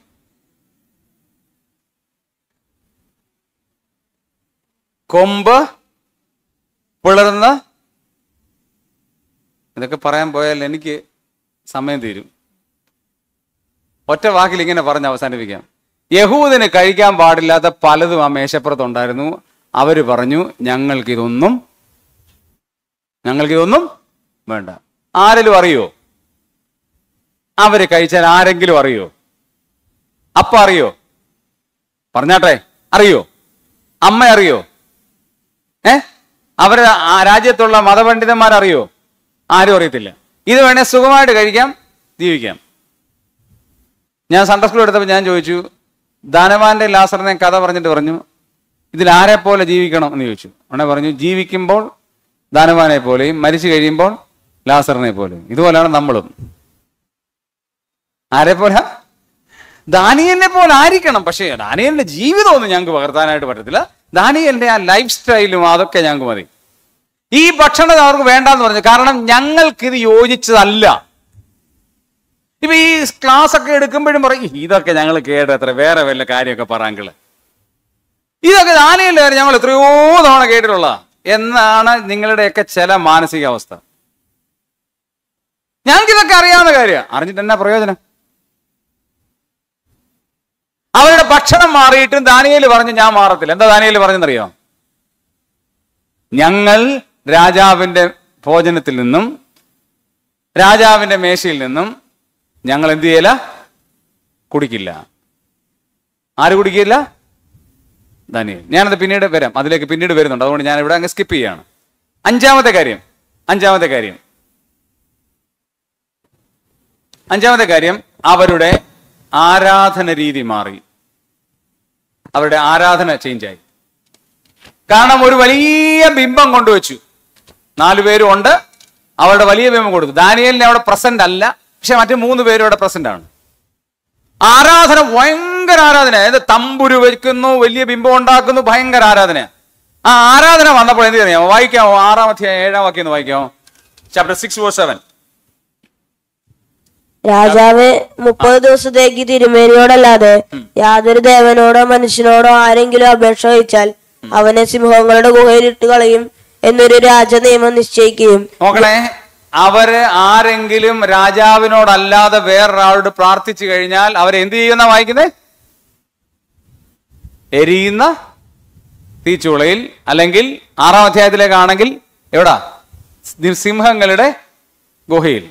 ഇനി രണ്ടും കൂടെ ക്ലബ് ചെയ്ത് ഞാൻ പറയാൻ പോവാണ്. മൂന്നാം അധ്യായവും ആറാം അധ്യായവും ക്ലബ് ചെയ്ത് പറയാൻ പോവാണ്. എവിടാ? എവിടെ ആകാൻ പോവാ? ഒന്നി തീച്ചുളയിലിടും അല്ലെങ്കിൽ എവിടെ ഇടും? സിംഹക്കുഴി രണ്ടു പേർക്ക് സംഭവം ഉണ്ടായി രണ്ട് വ്യത്യസ്ത സംഭവങ്ങളെ ഞാൻ ക്ലബ് ചെയ്ത് പറയാം. അങ്ങനെ ഒരു ഓർഡർ വരുവാന്നിരിക്കട്ടെ ഇവിടെ. തൃശ്ശൂരിൽ ഇനിയും മേലാൽ നിങ്ങൾ പള്ളിയിൽ പോകാൻ പാടില്ല ചർച്ചിൽ പോകാൻ പാടില്ല. നിങ്ങൾ എന്ത് പറയും? ഗവൺമെന്റിന്റെ നിയമം അതാണെങ്കിൽ ഞങ്ങൾ എന്ത് ചെയ്തോളാം? അനുസരിച്ചോളാം എന്ത് സുഖം? കോവിഡ് വന്നപ്പോൾ ഞങ്ങൾ അനുഭവിച്ചാണല്ലോ വീട്ടിലിരുന്ന സുഖം. അത് ആ സുഖം ഇതുവരെ മാറിയിട്ടില്ല. കാരണം സൂം മീറ്റിംഗ് കാണുമ്പോൾ അറിയാം. എന്നാ കാരണം? ചില ഞാൻ ഞാൻ ഒരുപാട് സൂം മീറ്റിംഗ് എന്നെ പ്രോഗ്രാം ചെയ്യുന്ന ആളാണ്. ഒരുപാട് പ്രോഗ്രാം എനിക്ക് തോന്നുന്നു ഈ കോവിഡ് സമയത്ത് ആയിരത്തി മുന്നൂറിലധികം രണ്ട് വർഷം കൊണ്ട് രണ്ട് വർഷം കൊണ്ട് ആയിരത്തി മുന്നൂറിലധികം കോ സൂം പ്രോഗ്രാം ഞാൻ ചെയ്തു. അത്രയ്ക്ക് പ്രോഗ്രാം ചെയ്താൽ അപ്പോൾ ഈ പ്രോഗ്രാം ചെയ്യും എന്നെ വിളിച്ച് പ്രോഗ്രാം ചെയ്യും ഞാൻ തന്നെ പ്രോഗ്രാം ചെയ്താൽ എന്നെ വിളിച്ച് പ്രോഗ്രാം അമേരിക്കയിൽ ഞാൻ പോയി ഓസ്ട്രേലിയയിൽ പോയി എല്ലാ രാജ്യത്തും ഞാൻ പോയി. മനസ്സിലായോ? പറഞ്ഞ അർത്ഥം മനസ്സിലായോ? അപ്പൊ കാരണം ഇങ്ങനെ പോകുമ്പോൾ ഒരുപാട് കാര്യങ്ങൾ പഠിച്ചു. ചിലരാണ് ഉടുപ്പിടാതൊക്കെ ഇരിക്കുന്നത്. ആ സഹോദരന്മാർ ഉടുപ്പിടാതെ ചിലപ്പോൾ അബദ്ധത്തിൽ ക്യാമറ ഓൺ ചെയ്യും. അപ്പൊ ഉടുപ്പിടാതിരിക്കും. ചിലരാണെങ്കിൽ മുടിയൊന്നും ചെയ്യുകയില്ല നൈറ്റിയൊക്കെ ഇട്ട് ഇങ്ങനെ വന്നിരിക്കുന്ന കാണാം. എടാ കഴിഞ്ഞ ദിവസം കേട്ടു. എടാ താക്കോൽ മാറ്റാൻ നിന്നോട് എത്ര തവണ ഞാൻ പറഞ്ഞ നീ മാറ്റിയില്ല. ഞാൻ അഡ്മിൻ അല്ല. അഡ്മിൻ അല്ലാത്തതുകൊണ്ട് കോ കോ ഹോസ്റ്റും അല്ല അഡ്മിനും അല്ലാത്തതുകൊണ്ട് എനിക്കിത് മ്യൂട്ട് ചെയ്യാൻ പറ്റത്തില്ല. കാരണം ഒരാളെ അതിനകത്ത് കയറിയിരിക്കുകയാണ് ഞാനും ഉൾപ്പെടെ. ഈ പുള്ളിക്കാരി പ്ര- പ്രസംഗം നിർത്തുന്നില്ല? ഈ- ചെറുക്കനോട് പറഞ്ഞ അനുസരിക്കത്തില്ല. ബ്രദർകാരുടെ മീറ്റിംഗ് ഞാൻ ഓർക്കണം. ഇതിങ്ങനെ പറഞ്ഞുകൊണ്ടിരിക്കുക എന്റെ പോലെ അപ്പൊ ഞാൻ പറഞ്ഞു ഇത് നോ ആരാ അഡ്മിൻ ഉള്ള? അഡ്മിൻ കയറിയിട്ടില്ല സാറേ. അഡ്മിൻ കയറുന്നതിന് മുമ്പുള്ള ഈ ഹോസ്റ്റ് കയറുന്നതിന് മുമ്പുള്ള ഈ എൻട്രൻസ് കിട്ടിയിരിക്കുക അതുകൊണ്ട് ഹോസ്റ്റ് വന്നിട്ടില്ല. ഉടനെ അവിടെ നിന്ന് വിളിക്കുക. ഹോസ്റ്റിനെ അടുത്ത ആൾ വിളിച്ചു പെട്ടെന്ന് കയറി ഒന്ന് മ്യൂട്ട് ചെയ്യും. ഹോസ്റ്റ് പറഞ്ഞു ഞാനൊരു മീറ്റിംഗിൽ സംബന്ധിച്ചുകൊണ്ടിരിക്കുക എനിക്കിവിടെ നെറ്റില്ല ഈ പുള്ളിക്കാരി എന്നാ ഞങ്ങൾ പറയുന്നുണ്ട് സൗകര്യം മ്യൂട്ട് ചെയ്യും മ്യൂട്ട് ചെയ്യും മ്യൂട്ട് ചെയ്യും എന്ന് പറയുന്നുണ്ട്. ഒരു രക്ഷ ഈ റീസെന്റ് ഉണ്ടായ കാര്യമാണ് പറയുന്നത് ആരാധന സ്റ്റോപ്പ് ചെയ്താലും നമ്മൾ എന്ത് പറഞ്ഞേനെ? ഓ സ്തോത്രം കർത്താവേ. ഏതാനും സഭയിലോട്ട് എന്ത് ചെയ്യണ്ട? വരണ്ട. ഇവർ ആരാധന സ്റ്റോപ്പ് ചെയ്തു. ഇനിയും മേലെ ജീവനുള്ള ദൈവത്തെ ആരാധിക്കാതെ രാജാവിനെ ആരാധിക്കാവൂ. അവർ മാറിയോ? അവർ മാറിയോ? അവർക്ക് മാറാനുള്ള എല്ലാ സൗകര്യങ്ങളും ഉണ്ടായിരുന്നു. ആരും അറിയില്ലായിരുന്നു. പക്ഷെ അവരുടെ ആരാധന ചേഞ്ച് ചെയ്യാൻ ശ്രമിച്ചിട്ട് അവർ മാറിയില്ല എന്നുള്ളതാണ്. ഇന്നത്തെ യുവാക്കന്മാരെന്താ അറിയാം ആ ഈ പണ്ട് വല്യപ്പന്മാര് പറഞ്ഞതൊക്കെ മണ്ടത്തരാവുന്നേ ഇപ്പൊ ഗിറ്റാറും ഓർഗനും എല്ലാം വെച്ച് തമൊക്കെ അടിച്ച് ഒരു പാണ്ട് എന്നെ പാട്ട് ഇതാണോ പാട്ട്? ആരാധന എന്ന് പറഞ്ഞ ഇതാണോ? പഹിമാം. ഇതാണോ ആരാധന? അതൊന്നുമല്ല പഹിമ ദേവ ദേവ പാവന രൂപ പഹിമ ദേവ ഇങ്ങനെ അതൊക്കെയാണ് ആരാധന. ഇതിപ്പോ മോഡേൺ ചർച്ചിൽ പോകണമെന്ന് നിങ്ങൾ ഈ പണ്ട് പഹിമാം ദേവദേവ. ദേവ പാട്ടാ? പക്ഷെ പാട്ട് നിങ്ങൾ ആസ്വദിച്ചെന്ന് പാടി നോക്കി ഞാൻ പാടാം. പഹിമാം ദേവദേവ. ദേവ പാവനരൂപ. പഹിമാം ദേവ ദേവ അത് നമ്മുടെ ഹൃദയത്തിന്റെ അടിത്തട്ടി നമ്മോട് വരുമ്പോൾ എന്താ ഒരു ആരാധന? ഒരു സങ്കീർത്തന ഭാഗം എടുത്ത് വായിച്ച് അതിനകത്ത് ഒരു ചിന്ത പറയും. ഇപ്പൊ പിള്ളേർ പറഞ്ഞേ ഇതെന്നാടാ അപ്പൊ ആരാധന? സങ്കീർത്തനമല്ല ഞങ്ങൾക്ക് വർഷിപ്പ് ലീഡറോ വേണം വർഷിപ്പ് ലീഡറോ വർഷിപ്പ് ലീഡറോ വന്ന് അങ്ങോട്ട് സ്തുതിച്ചാട്ടെ എല്ലാവരും സ്തുതിച്ചാട്ടെ കൈ ഉയർത്തിക്കാട്ടെ സ്തുതിച്ചാട്ടെ ലൂയ ഇതാണ് ആരാധന. ഇന്നത്തെ ചെറുപ്പക്കാർക്ക് ഇതാ രസം. ബ്രദറുകാരൻ നിങ്ങൾ എന്നാ ഒരു ആരാധനയാണ് ഇതാണോ ആരാധന? ആരാധന വേണമെങ്കിൽ ഞങ്ങളുടെ അടുത്ത് വരണം.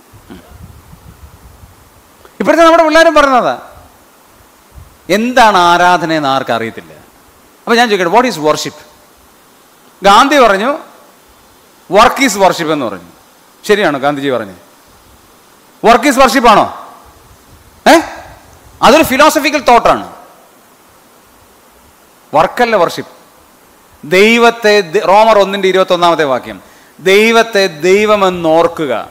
രണ്ട് മഹുത്തീകരിക്കുക മൂന്ന് നന്ദി കാണിക്കുക. ഇതാണ് ആരാധന.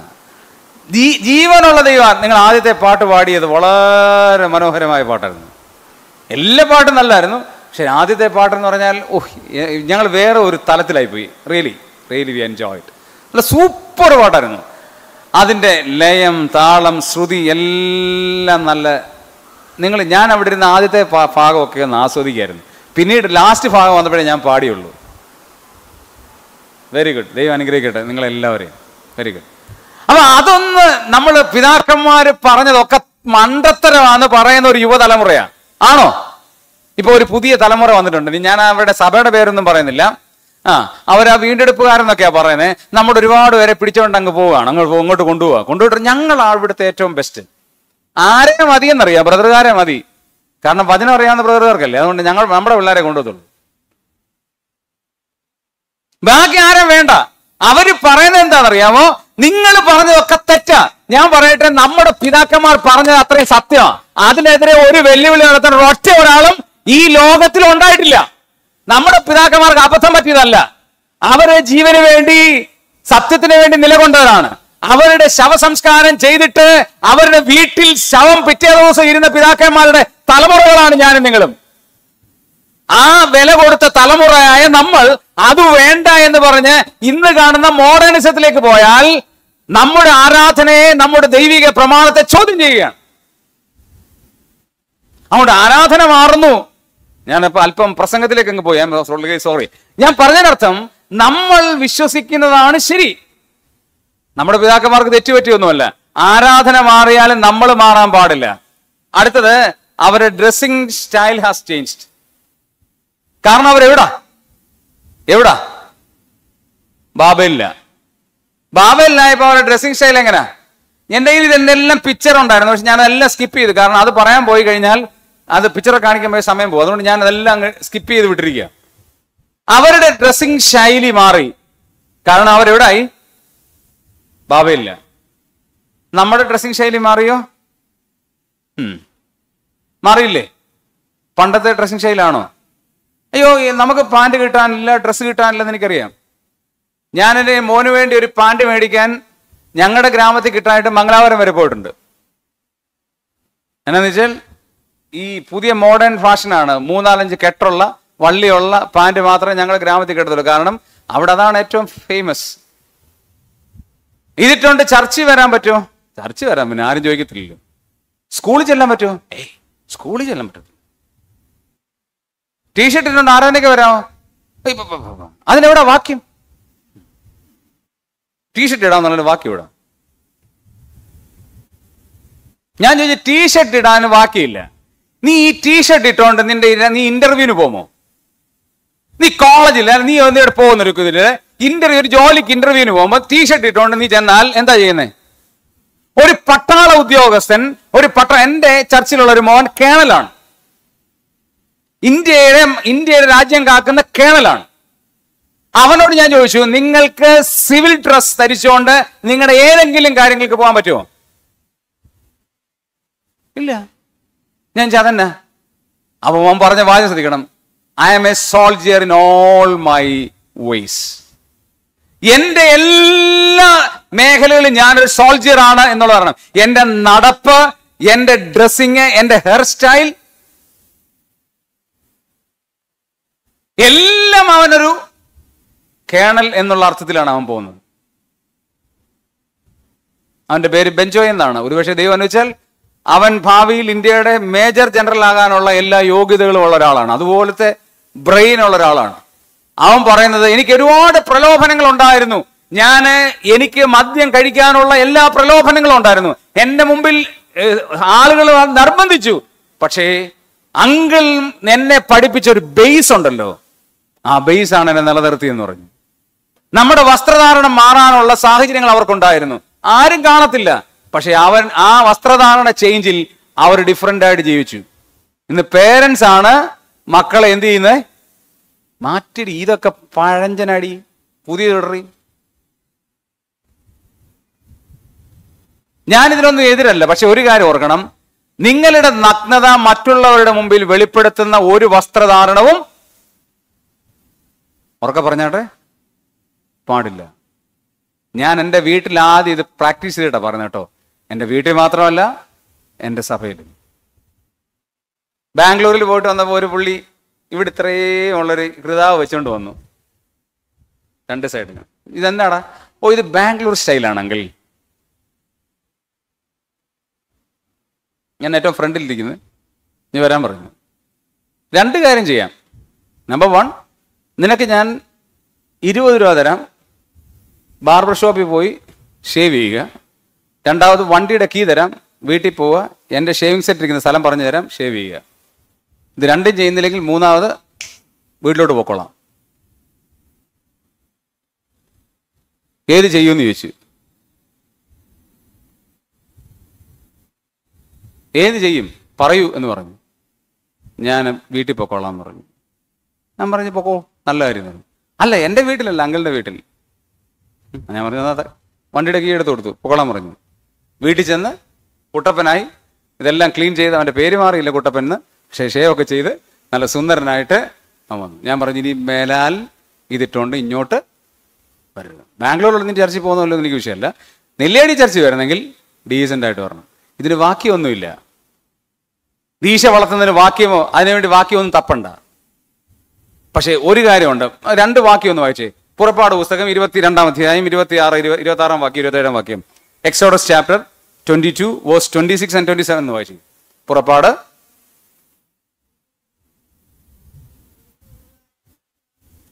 പണയം വാങ്ങിയാൽ സൂര്യൻ അസ്തമിക്കും മുൻപേ മടക്കി കൊടുക്കണം. അതുമാത്രമല്ലോ അവന്റെ പുതുപ്പ്. അതുമാത്രമല്ലോ അവന്റെ ശരീരം. അവന്റെ ശരീരം മൂടുന്ന വസ്ത്രം. മൂടുന്ന വസ്ത്രം. ഈ പണയം വാങ്ങിയാലുള്ള കാര്യമാണ് പറയുന്നത് പണയം വാങ്ങിയാൽ.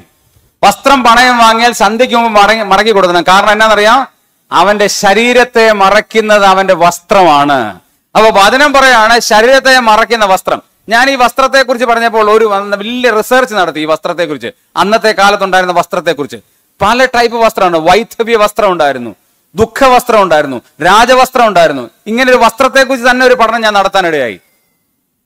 രണ്ടാമത്തെ കാര്യം ഡോട്രോണമി ആവർത്തനം ഇരുപത്തിരണ്ടിന്റെ അഞ്ച് എന്ന് വായിച്ച് Deuteronomy twenty two verse five ആവർത്തനം ഇരുപത്തിരണ്ടിന്റെ അഞ്ച്.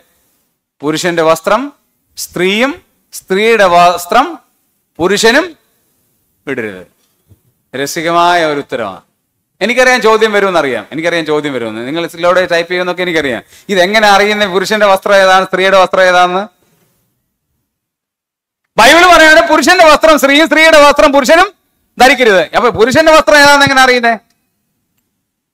സ്ത്രീയുടെ വസ്ത്രം ഏതാണെന്ന് എങ്ങനെ അറിയുന്നേ? ഇത് ഇത് പറയുന്ന മോശ ഇത് പറയുമ്പോൾ ദൈവം പറയുമ്പോൾ മോശ ദൈവം ഐ മീൻ ദൈവം മോശ മുഖാന്തരം പറയുമ്പോൾ അവിടെ ഉണ്ടായിരുന്ന കൾച്ചറിനെ കുറിച്ച് ദൈവവും ബോധവാനാണ് മോശയും ബോധവാനാണ് ജനങ്ങളും ബോധവാനാണ്. ഇനി ഞാൻ പറയാൻ പോവാണ്.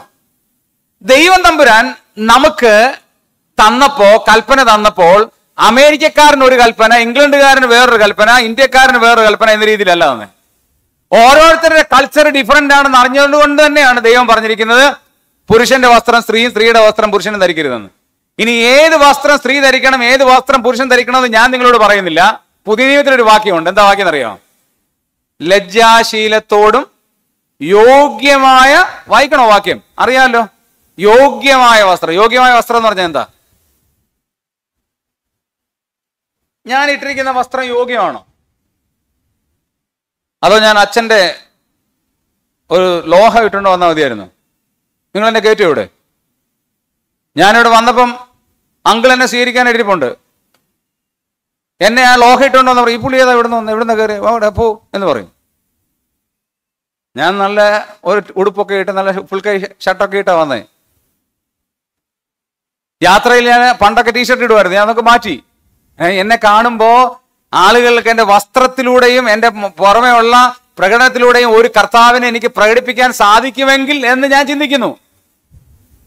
യോഗ്യമായ മാന്യമായ വസ്ത്രം. മാന്യമല്ലാത്തത് എന്താ ഇന്ന് ലജ്ജയായതിൽ മാനം തോന്നുന്നു. നിങ്ങൾ ശ്രദ്ധിച്ചു നോക്കിക്കോ ഇന്നത്തെ ഞാൻ ഇവിടെ നിന്നും അത്രയും പ്രശ്നമില്ലെന്ന് തോന്നുന്നു കേരളത്തിൽ.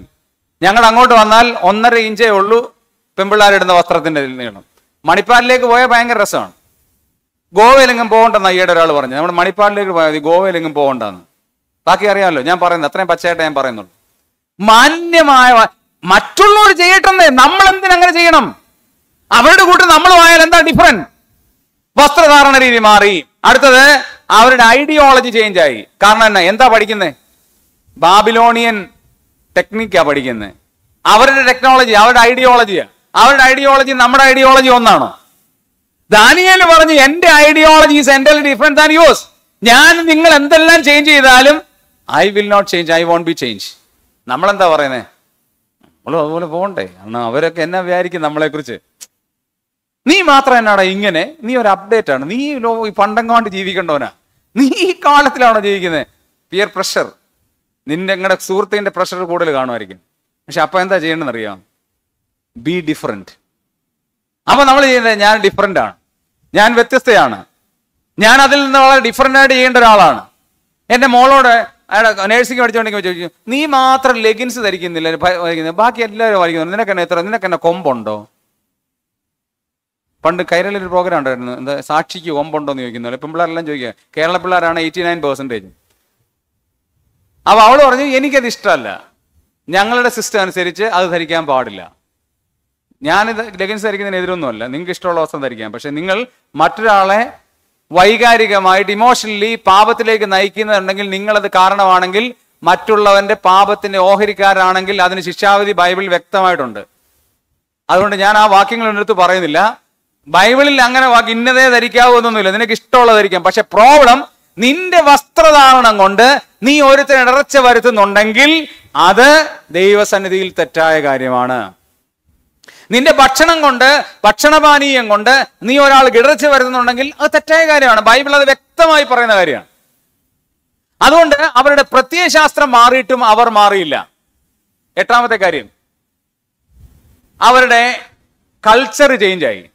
എന്തെല്ലാം അവരുടെ കൾച്ചർ അവരുടെ സംസ്കാര രീതി. ഞാൻ ഒന്ന് രണ്ട് കാര്യങ്ങൾ പറയാം ബാബിലോണിയൻ സംസ്കാരം. അവർ എഴു- എഴുന്നേറ്റാൽ ഉടനെ അവർ ഓ വണങ്ങുന്ന അവരുടെ ദൈവത്തെയാ. അവരാദ്യം പോയി വണങ്ങുന്ന അവരുടെ ദൈവത്തെയാ. ഒരു കൈ മാത്രം വസ്ത്രം ഇട്ടുകൊണ്ടാണ് അവർ ദൈവത്തെ വണങ്ങുന്നതെന്നാണ് ഒരു അവരുടെ എഴുത്തുകാരൻ എഴുതിയിരിക്കുന്നത്. ബാബിലോണിയൻ സംസ്കാരം അങ്ങനെ ആയിരുന്നു അതേ സംസ്കാരമാണ് ഇന്ത്യയിൽ അമ്പലത്തിലേക്ക് പോകുന്ന ദേവസ്ഥാനത്തേക്ക് പോകുന്ന ആ ആളുകൾ കൈവശമാക്കുന്നു എന്നാണ് ഒരു ചരിത്രകാരൻ ലേറ്റസ്റ്റ് ഒരു ചരിത്രകാരൻ എഴുതിയിരിക്കുന്നത്. അപ്പൊ അവരുടെ സംസ്കാരം മുഴുവൻ മാറി. അവരുടെ സംസ്കാരത്തിനനുസരിച്ച് ദാവീദിനെ ദാനിയലിനെ മാറത്തില്ലായിരുന്നു? ആരിലും അറിയായിരുന്നു? ഇന്നുള്ള പോലെ ബൈബിൾ ക്ലാസ് ഇല്ല യൂത്ത് മീറ്റിംഗ് ഇല്ല ഫാമിലി കോൺഫറൻസ് ഇല്ല യുവജന സമ്മേളനം ഇല്ല ന്യായപ്രമാണം ഇതൊന്നുമില്ല. നമുക്കിതെല്ലാം ഉണ്ട്. ന്യായപ്രമാണമുണ്ട് വചനം ഫുള്ള് കിട്ടി ബൈബിൾ ക്ലാസ് ഉണ്ട് യൂട്യൂബിലുണ്ട് ഫേസ്ബുക്കിലുണ്ട് വാട്സപ്പിലുണ്ട്. ഇരുപത്തിനാല് മണിക്കൂർ കേൾക്കുന്നു എന്നിട്ടും കേൾക്കുന്നതല്ലാതെ ഇത് കണക്ക് കൊടുക്കണോ? ഇത് കണക്ക് കൊടുക്കണോ? ഈയിടെ സെലിബ്രിറ്റി പറഞ്ഞ ഞാൻ വായിച്ചു. എനിക്ക് എപ്പോഴും ഇന്റർവ്യൂസ് ഒക്കെ ഞാൻ കേൾക്കും. പല ഇന്റർവ്യൂസും കേൾക്കും. ഒരാളെ ഞാൻ ദൈവം ഇതെല്ലാം നോക്കിക്കൊണ്ടിരിക്കുകയാണോ? ഈ നമ്മളൊക്കെ നടക്കുന്നതും നമ്മൾ ചെയ്യുന്നതും എല്ലാം ദൈവം നോക്കിക്കൊണ്ടിരിക്കുകയാണോ? ശരിയല്ലേ? അപ്പൊ ഞാൻ ചിന്തി ശരിയാ. ദൈവം നോക്കിക്കൊണ്ടിരിക്കുകയല്ലേ? അല്ലേ? ദൈവം നോക്കിക്കൊണ്ടിരിക്കുന്നുണ്ടോ? തൊണ്ണൂറാം സംഘത്തിന് എട്ടാം വാക്യം ഒന്ന് വായിച്ചേ. സാം നയന്റി വോസ് എയ്റ്റ് നമ്മൾ ചിന്തിക്കും ദൈവം ഇത് കാണുന്നുണ്ടോന്ന് വായിച്ചേ. സാം നയന്റി വോസ് എയ്റ്റ് നീ ഞങ്ങളുടെ അകൃത്യങ്ങളെ നിന്റെ നേരത്തെ നേരത്തെ വായിക്കാം. നീ ഞങ്ങളുടെ അകൃത്യങ്ങളെ നിന്റെ മുൻപിലും നിന്റെ മുമ്പിലും ഞങ്ങളുടെ ഞങ്ങളുടെ രഹസ്യ പാപങ്ങൾ നിന്റെ മുഖപ്രകാശത്തിലും പ്രകാശത്തിലും വെച്ചിരിക്കുന്നു. ഇംഗ്ലീഷിൽ ഒന്ന് വായിക്കാമോ ആ വാക്യം? സെക്കൻഡ് പാർട്ട് എന്റെ ഉണ്ട് എന്നാലും നിങ്ങളുടെ ഒരു വേർഷനിൽ ഡിഫറെന്റ് ഉണ്ടോ എന്ന് അറിയാൻ വേണ്ടിയാ. നൗ ഗോഡ് ഹാസ് പുട്ട് ആ ആ. Secrets in the light of thy എന്താ അർത്ഥം? ഏ? ഞാനൊരു ഈ ഒരു വാക്യം കിട്ടിയാൽ ഞാൻ ചെയ്യാറുള്ളത് പല ഡിഫറെന്റ് വേർഷൻസ് വായിക്കും. എന്തിനാന്ന് ചോദിച്ചാൽ ഓരോ ഡിഫറെന്റ് വേർഷൻസിൽ എന്താണ് ഉത്തരം നൽകിയിരിക്കുന്നത്? ഞാൻ ഒരു വേർഷന്റെ ഉത്തരം പറയാൻ പോവാം. ഞാൻ വായിച്ച ഒരു വേർഷനിൽ അത് പറഞ്ഞിരിക്കുന്നത്. I delights I visualise your sin ഇവിടെ എന്താ ചെയ്തുകൊണ്ടിരിക്കുന്നത് I am visualising the things ഞാനിവിടെ ഈ കാര്യം കാണിക്കുന്നു. ജോവലിന്റെയും ജോൺസ് ജോൺസൺ എന്നല്ലേ പറയുന്നത് ഡാനിയേലും അവിടെ ഇരുന്നുകൊണ്ട് എന്ത് ചെയ്യാന്നറിയാം ഇത് മുഴുവൻ എന്റെ ലാപ്ടോപ്പിൽ നിന്ന് അവരുടെ ലാപ്ടോപ്പിലോട്ട് വിഷ്വലൈസ് ചെയ്തിട്ട് അവരുടെ വിഷ്വലിൽ നിന്ന് പ്രൊജക്ടറിൽ പോയി പ്രൊജക്ടറിൽ നിന്ന് വിഷ്വലൈസ് ചെയ്യാണ് ഇത് കണ്ടുപിടിക്കാൻ ബുദ്ധി കൊടുത്ത ദൈവത്തിന് നമ്മുടെ രഹസ്യങ്ങൾ കണ്ടുപിടിക്കാൻ ബുദ്ധിമുട്ടുണ്ടോ?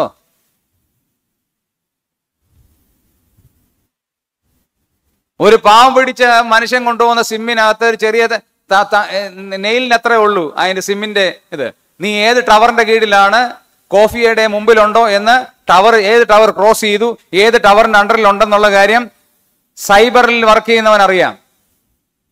എന്റെ ഒരു ഫ്രണ്ട് ഉണ്ട് തിരുവനന്തപുരം സൈബറിൽ നമ്മുടെ തൃശ്ശൂർക്കാരൻ തന്നെയാ സിയോൻ അസംബ്ലിയിലുള്ള. ആ മോൻ പറഞ്ഞ കാര്യങ്ങൾ കേട്ടാൽ ഞെട്ടിപ്പോവും. ഓരോ സൈബർ സെല്ലിലെ അവർ കണ്ടുപിടിക്കുന്ന ക്രൈമിന്റെ ഡീറ്റെയിൽസ്. ഏത് ഐ പി അഡ്രസ്സിൽ നിന്നാണ് ഫോൺ ചെയ്തതെന്ന് എത്ര സെക്കൻഡുള്ള ഫോണാണെന്ന് എത്ര വർഷം വേണമെങ്കിലും ഈ സൈറ്റിൽ സേർഡാണ് ഇത് കണ്ടുപിടിക്കാൻ ബുദ്ധി കൊടുത്ത ദൈവത്തിന് ദൈവത്തിന് ഇത് കണ്ടുപിടിക്കാൻ ബുദ്ധി കൊടുത്ത ദൈവത്തിന് ഈ മുഴുവൻ മനുഷ്യനെ ഹിസ്റ്ററി തയ്യാറാക്കാൻ ദൈവത്തിന് ഈസിയാ? ദൈവത്തിന് അതിൽ ബുദ്ധിമുട്ടുണ്ടോ God will visualise all your secrets in before the Lord before the Lord രഹസ്യഭാവം ആരും അറിഞ്ഞിട്ടില്ല. അത് മുഴുവൻ വിഷ്വലൈസ് ചെയ്യാൻ ദൈവത്തിന് കഴിയുമെന്ന്. നമ്മുടെ കൾച്ചർ ചേഞ്ച് ചെയ്താലും നമ്മൾ ചേഞ്ച് ചെയ്യാൻ പാടില്ല. കാരണം നമ്മെ വാച്ച് ചെയ്യുന്ന ഒരു ദൈവമുണ്ട്. ഒമ്പതാമത്തെ കാര്യം. ഒമ്പതാമത്തെ കാര്യം. അവരുടെ concept about God has changed കാരണം അവർ അത്രയും നാൾ അവിടുത്തെ ബാബയിൽ പ്രവാസികളായി അവിടുത്തെ സാഹചര്യം അനുസരിച്ച് ജീവിക്കുകയാണ്. അപ്പോൾ അവരുടെ ദൈവത്തെക്കുറിച്ചുള്ള ബാബിലോണിയൻ കൺസെപ്റ്റ് എന്താണെന്നറിയോ? മുമ്പേ ഞാൻ രാവിലെ പറഞ്ഞു ബാബിലോണുകാരാണ് വിശ്വസിക്കുന്നത് ഈ ഭൂമി ദൈവത്തിന്റെ ഈ ഭൂമി പോത്തിന്റെ മുകളിലാണെന്ന്. നാല് തൂണിന്റെ മുകളിലാണ്. ഈ തൂൺ എവിടാ നിൽക്കുന്നത് ഈ പോത്ത് എവിടാ നിൽക്കുന്നത് അവ ദൈവത്തെക്കുറിച്ചുള്ള അവരുടെ ചിന്ത എങ്ങനെയാ ദൈവം കണ്ണ് ഇങ്ങനെ ഇരുന്ന് അനുഗ്രഹിക്കാൻ വരുമ്പോ കൈ ഇങ്ങനെ നീട്ടുന്ന ദൈവമാണെന്നാണ് അവരുടെ ചിന്ത. നമ്മുടെ ദൈവം എങ്ങനെയാ? അവരുടെ ദൈവം കണ്ണുണ്ടെങ്കിലും കാണാത്ത ദൈവം മൂക്കുണ്ടെങ്കിലും നടക്കാത്ത ദൈവം ചെവി ഉണ്ടെങ്കിലും കേൾക്കാത്ത കൈയുണ്ടെങ്കിലും സ്പർശിക്കാത്ത കാലുണ്ടെങ്കിലും നടക്കാത്ത ഈ- ഈരമ്യാവ് പറയുന്ന പോലെ വെള്ളരിത്തോട്ടത്തിലെ തൂണ് പോലെ ഒരിടത്തു നിന്ന് എടുത്ത് അപ്പുറത്തോട്ട് കൊണ്ടുവച്ചാൽ അവിടെ നിൽക്കുന്ന ദൈവത്തിന് മുമ്പാകെ ആണ് അവർ വണങ്ങാൻ പറഞ്ഞത്. എന്നാൽ നമ്മുടെ ദൈവം അങ്ങനെയുള്ള ദൈവമല്ല. നമ്മുടെ ദൈവം ഇരിക്കുന്നത് സ്വർഗത്തിലും ദൈവം കാൽ വെക്കുന്നത് ഭൂമിയിലുമാണ്. പ്രൈസ് ദ ലോഡ് നമ്മുടെ ദൈവം അത്രയ്ക്ക് വലിപ്പമുള്ള ദൈവമാണ്. യശയ അറുപത്തി ആറിന് ഒന്നിനെന്താ വായിക്കുന്നത്? ദൈവം സ്വർഗം സ്വർഗം എന്റെ സിംഹാസനവും ഭൂമി എന്റെ പാതപീഠമാകുന്നു അത്രയ്ക്ക് വലിപ്പമുള്ള ഒരു ദൈവത്തിന് മുമ്പിലാണ് നമ്മൾ ഇരിക്കുന്നത് ദാനിയലിന് കൂട്ടർക്ക് അറിയാമായിരുന്നു ഇതെന്തായിരുന്നു എന്ന്. ഇനി ഏറ്റവും ഇമ്പോർട്ടന്റ് ആയ കാര്യത്തിലേക്ക് വരട്ടെ. ദാനിയേൽ ഒന്നിന്റെ എട്ടിൽ നമ്മൾ വായിക്കുന്ന ഇങ്ങനെയാണ്. ദാനിയൽ തീരുമാനമെടുത്തു. എന്റെ ചോദ്യം ഇതാണ്. To whom Daniel took the decision Daniel തീരുമാനമെടുത്തത് ആരോടാണ്? നിങ്ങളോ നിങ്ങൾ നിങ്ങളോടാണ് ഉത്തരം തരേണ്ടത്. ദാനിയൽ തീരുമാനമെടുത്തത് ആരോടാണ്? ദൈവത്തോട്. ദാനിയൽ തീരുമാനമെടുത്തത് ആരാണ്? ആരോടാണ്? ദൈവത്തോട്. ആ വാക്യം ഒന്നുകൂടെ വായിച്ചേ. വേറൊരാൾ വായിച്ചേ. വേറൊരാൾ വായിച്ചേ. മോനെ ഒരു മൈക്ക് പാസ് ചെയ്ത് നോക്കി. ദേ ഇവിടെ ഇവിടെ തന്നെ ഉണ്ട് ഇവിടെ തന്നെ ഉണ്ട്. ഇത് വായിച്ചാൽ മതി. ഉറക്ക വായിച്ചേ. ആരെങ്കിലും ഉറക്ക വായിക്കും. എന്നാൽ മലയാളം വായിക്കാൻ അറിയാവുന്നവർ വായിക്കേ. എന്നാൽ രാജാവിന്റെ ആ ആ. ആരാണ് തീരുമാനമെടുത്തത്? ആരാണ് തീരുമാനമെടുത്തത്? ദാനിയൽ. ആരോടാണ് തീരുമാനമെടുത്തത്? വാക്യം വ്യക്തമുണ്ട്. ആരോടാ തീരുമാനമെടുത്തത്? പറ എനിക്ക് നിങ്ങളുടെ വായിന്ന് കേൾക്കണം. ആരോടാ ദാനിയൽ തീരുമാനമെടുത്തേ തന്നോട് തന്നെ. ആരോടാ തീരുമാനമെടുത്തേ തന്നോട് തന്നെ. ഹൃദയത്തിൽ നിശ്ചയിച്ചു എന്നാ പറയുന്നത്. ഹൃദയത്തിൽ നിശ്ചയിച്ചു. ഞാൻ ചോദിക്കട്ടെ? യൂത്ത് മീറ്റിംഗിന് യൂത്ത് മീറ്റിംഗ് ആരാ? ഇവിടെ യൂത്ത് മീറ്റിംഗ് ഉണ്ടല്ലോ അല്ലേ? യൂത്ത് മീറ്റിംഗിന് ഞാൻ ഇനിയും പോകുന്നില്ല. തീരുമാനം എടുത്തത് ആരാ? നിങ്ങളാ. സഹോദരിമാരുടെ മീറ്റിംഗ് ഇല്ലേ ഇവിടെ? സഹോദരിമാരുടെ മീറ്റിംഗ് ഞാൻ പോകുന്നില്ല സഹോദരിമാരുടെ മീറ്റിംഗ് തീരുമാനം എടുത്തത് ആരാ? ആരാ? നിങ്ങളാ. എന്നെ പോവാത്തെ. പിന്നെ സൗര്യമാരുടെ മീറ്റിങ്ങിന് പോയിട്ടുണ്ട്. എനിക്ക് ആത്മീയ വർദ്ധിക്കാൻ എന്റെ പിള്ളേരെ ഞാൻ ഒരു കാര്യം പറയട്ടെ. എന്നെ എന്റെ കുഞ്ഞു മക്കളോട് എന്റെ മക്കളോട് പറഞ്ഞാലും പറയട്ടെ. ഒരു ആത്മീയ ശുശ്രൂഷയും ഉപേക്ഷയായി വിചാരിക്കാൻ പാടില്ല. യൂത്ത് മീറ്റിംഗ് ആയിക്കോട്ടെ ബൈബിൾ ക്ലാസ് ആകട്ടെ സുവിശേഷ പ്രവർത്തനം ആയിക്കോട്ടെ ഒരു കാര്യവും തീ നിസ്സാരമായിട്ട് കണക്കാകരുത് കാരണം നിങ്ങളുടെ ജീവിതത്തിലെ ഏറ്റവും ഇമ്പോർട്ടന്റ് ആയ കാര്യമാണ് നടക്കുന്നത്. ഇന്നത്തെ ക്ലാസ് എല്ലാവർക്കും നൂറ് പേർക്കും പ്രയോജനമാകത്തില്ല. ഇന്ന് നടന്ന എല്ലാ ക്ലാസ്സും നൂറ് ശതമാനം എനിക്ക് പ്രയോജനം ഇല്ല. അങ്ങനെ ഒരു ക്ലാസ്സും ഉണ്ടാകത്തില്ല. പക്ഷെ ഇതിനകത്തിരിക്കുന്ന പത്ത് പേരിലെങ്കിലും അത് സ്വാധീനം ചെലുത്തിയിട്ടുണ്ടെങ്കിൽ അതാണ് ഏറ്റവും ഇമ്പോർട്ടന്റ് ആയ കാര്യം. നിങ്ങൾ എടുക്കുന്ന തീരുമാനം ദൈവത്തോട് എടുക്കുന്നതിന് മുമ്പ് നിങ്ങളോട് തന്നെ എടുക്ക്. ഞാൻ ഇനിയും ഹൃദയം കൊണ്ട് പാപം ചെയ്യില്ല. എന്റെ കണ്ണുകൊണ്ട് ഞാൻ പാപം ചെയ്യില്ല. ദൈവത്തിനെതിരെ ഞാൻ ചിന്തിക്കൂല. എന്റെ വസ്ത്രധാരണം ദൈവത്തിന് മാതൃകയായിട്ട് ജീവിക്കൂ. സഭയിലുള്ള സഹോദരിമാർക്ക് സഹോദരന്മാർക്ക് മാതൃകയായിട്ട് ഞാൻ ജീവിക്കൂ.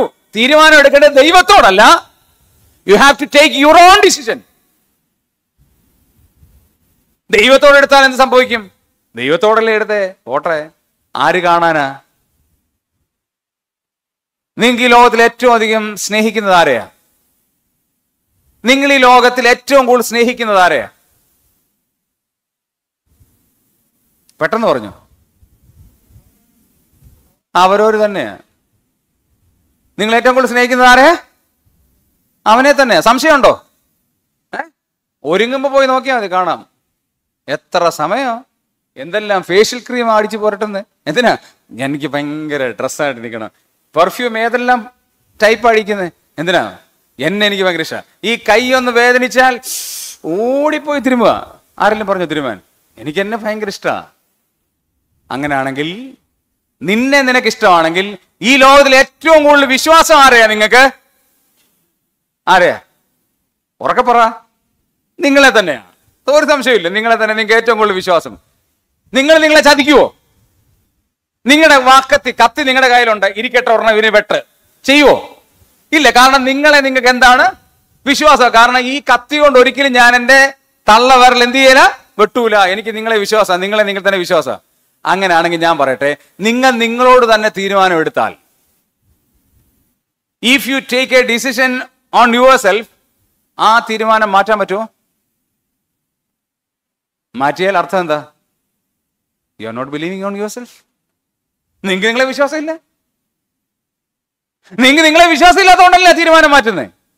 ദാനിയേൽ പറയാണ് എന്നെ ഞാൻ ഇനിയും എന്നെ തന്നെ ദൈവസന്നിധിയിൽ അശുദ്ധമാക്കുകയില്ല. ഞാൻ ചേഞ്ച് ആവൂല. എന്ന് എവിടെ തീരുമാനിച്ചേ? ഹൃദയത്തിൽ. തീരുമാനത്തെ ദൈവം ആദരിച്ചോ? ആദരിച്ചോ? ആദരിച്ചു. അവിടെ ബാലന്മാരെ എല്ലാം കൊണ്ട് നിർത്തി. നിർത്തിയോ? അവരെക്കാളും എത്ര ശ്രേഷ്ഠമാരാ കണ്ടെന്നറിയാമോ പത്തിരട്ടി വിശിഷ്യന്മാരായിട്ടാണ് കണ്ടത്. എത്ര ഇരട്ടി പത്തിരട്ടി. എന്നാ കാരണം? എന്താണ് കാരണം? തീരുമാനത്തിന്റെ ശക്തി. തീരുമാനത്തിന്റെ ശക്തി. അതാണ് എന്റെ ഹെഡിങ് തന്നെ. ലോകം മാറും. സാഹചര്യം മാറും. സംസ്കാരം മാറും. ഭാഷ മാറും. സ്ഥലം മാറും. ചിന്താഗതി മാറും. പക്ഷെ എന്തില്ല? എനിക്ക് മാറ്റം ഉണ്ടാകില്ല കാരണം ഞാൻ ആരാണ്? ഹു ആർ യു ഞാനൊരു ദൈവത്തിന്റെ പൈതലാണ്. എല്ലാവരും നിങ്ങളെ കളിയാക്കിയാലും പ്രലോഭനം ചെയ്താലും പ്രലോഭിപ്പിച്ചാലും നീ എന്നാ ഒരു മനുഷ്യനാടാ? നീ ജീവിക്കേണ്ടത് ആ കാലത്താ. നീ എന്നാ ഒരു മനുഷ്യ? ഇതൊന്നും ഉപയോഗിക്കാത്ത നീ ഏത് കാലത്താടാ ജീവിക്കുന്നത് ഏത് കാലത്താടി ജീവിക്കുന്നത് ചോദിച്ചാൽ പറയണത് I am a different I am different എന്താ കാരണം? ദൈവം എന്നെ ഡിഫറെന്റ് ആയിട്ട് സൃഷ്ടിച്ചു. ഞാൻ അതുകൊണ്ടാണ് എന്റെ വാട്സ് വാട്സപ്പിൽ ഡിസ്ക്രിപ്ഷൻ എഴുതിയിരിക്കുന്നത് നിങ്ങൾക്ക് നിങ്ങൾ എന്റെ വാട്സപ്പ് നമ്പർ കൊണ്ട് അറിയാം. I am different because God has created me I am different because God created me ഞാൻ മറ്റൊരു രീതിയിൽ എഴുതിയിരിക്കുന്നത് I am special because God design me ഞാൻ സ്പെഷ്യലാണ് നിങ്ങൾ അതിനേക്കാളും സ്പെഷ്യലാണ് നിങ്ങൾക്ക് റജീക തോമസിനെ പോലെ ആകാമോ? ഇല്ല. എനിക്ക് നിങ്ങളെ പോലെ ആകാമോ? എനിക്ക് ജോൺ കുരുനങ്ങളെ പോലെ ആകാമോ? ഇല്ല. ജോൺ കുരുനങ്ങൾ എന്നെ പോലെ ആകാമോ? ഇല്ല. നമ്മൾ ഓരോരുത്തരും യുണീക്കാണ് നിങ്ങൾ ഡിസിഷൻ എടുത്താൽ അതാണ് ഏറ്റവും ഇമ്പോർട്ടന്റ് ആയ ഒരു കാര്യം. അതുകൊണ്ട് നിങ്ങൾ നിങ്ങൾ എന്ത് ചെയ്യും എന്നുള്ളത് നിങ്ങൾ തന്നെ തീരുമാനിക്കേണ്ടത് വളരെയേറെ ആവശ്യമാണ്. നിങ്ങൾ എന്താണ് ചെയ്യുന്നത്? ദാനിയലിന്റെ തീരുമാനം അങ്ങനെയാണെങ്കിൽ നിങ്ങളുടെ തീരുമാനം എന്താണ്? ഞാൻ ഒരു കാര്യം കൂടെ പറഞ്ഞ് ഞാൻ അവസാനിപ്പിക്കുകയാണ്. ഇതാ നോക്കിക്കോ നിങ്ങളുടെ ഡിസിഷൻസ് എന്താണ്? വാട്ട് ഈസ് യുവർ ഡിസിഷൻസ് നിങ്ങളുടെ തീരുമാനം എന്താണ്? എനിക്കറിയില്ല. നിങ്ങൾ എങ്ങനെയാണ് കാര്യങ്ങൾ ചെയ്യുന്നു എന്ന് എനിക്കറിയില്ല. ഞാൻ നിങ്ങളുടെ തീരുമാനം എന്താണ്?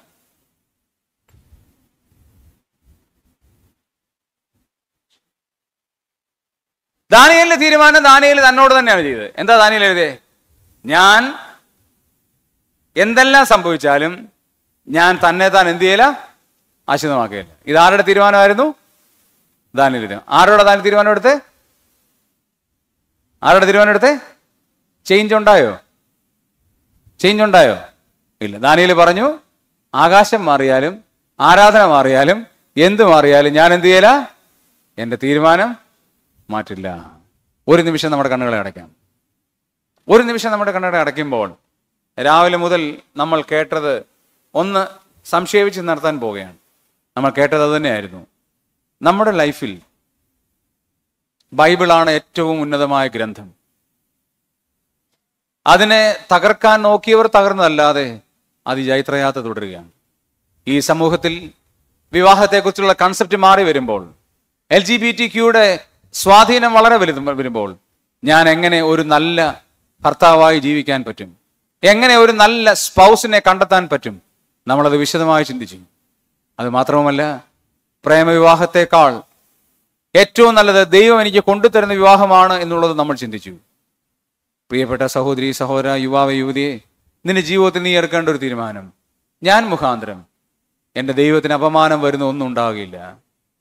എന്റെ ഭാഷ മാറിയാലും ജാതി മാറിയാലും വർണം മാറിയാലും വർഗം മാറിയാലും ദേശം മാറിയാലും സംസ്കാരം മാറിയാലും ഞാൻ മാറില്ല എന്നുള്ളത് ഞാൻ മനസ്സിലാക്കുന്നു. ആരാധന മാറിയാലും എന്റെ പിതാക്കന്മാർ പിന്തുടർന്ന അതേ മാതൃക പിന്തുടർന്നുകൊണ്ട് ദൈവത്തിനു വേണ്ടി ശോഭിക്കുവാൻ ഞാൻ ആഗ്രഹിക്കുന്നു. പ്രലോഭനങ്ങൾ ധാരാളം ഉണ്ടാകാം. എന്റെ ജീവിതത്തെ കീഴ്മേൽ മറിക്കുന്ന പ്രശ്നങ്ങൾ ഉണ്ടാകാം. പക്ഷേ ഞാൻ മാറാനായിട്ട് ആഗ്രഹിക്കുന്നില്ല.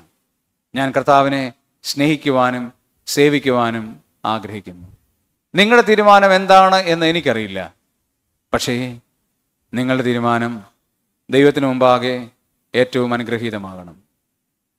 നിങ്ങൾ ദൈവത്തിന് മുമ്പാകെ സമ്മതിക്കേണ്ടത് കർത്താവെ ഞാൻ തന്നെ താൻ അശുദ്ധമാക്കാൻ ഒന്നും ചെയ്യില്ല. ഞാൻ വളരെ വ്യത്യസ്തനായി ജീവിക്കും. എന്നെ അതിനെ സഹായിക്കണമേ എന്ന് മൗനമായി നിങ്ങൾക്ക് തീരുമാനമെടുക്കാം നിങ്ങളോട് തന്നെ തീരുമാനമെടുക്കാം ഇതുവരെ ഞാൻ കണ്ടതൊക്കെ ഉപേക്ഷിക്കുന്നു. ഇതുവരെ ഞാൻ രഹസ്യമായി പാപം ചെയ്തതൊക്കെ ഉപേക്ഷിക്കുന്നു. ഇതുവരെ ഞാൻ പല പ്രലോഭനങ്ങളിൽ പെട്ട് എന്റെ മോഹത്തെപ്പെട്ട് എന്റെ കണ്ണിന് ദൃഷ്ടിപ്പെട്ടൊക്കെ ഞാൻ പാപത്തിലേക്ക് പോയി. എന്നാൽ ഞാൻ മടങ്ങി വരുന്നു.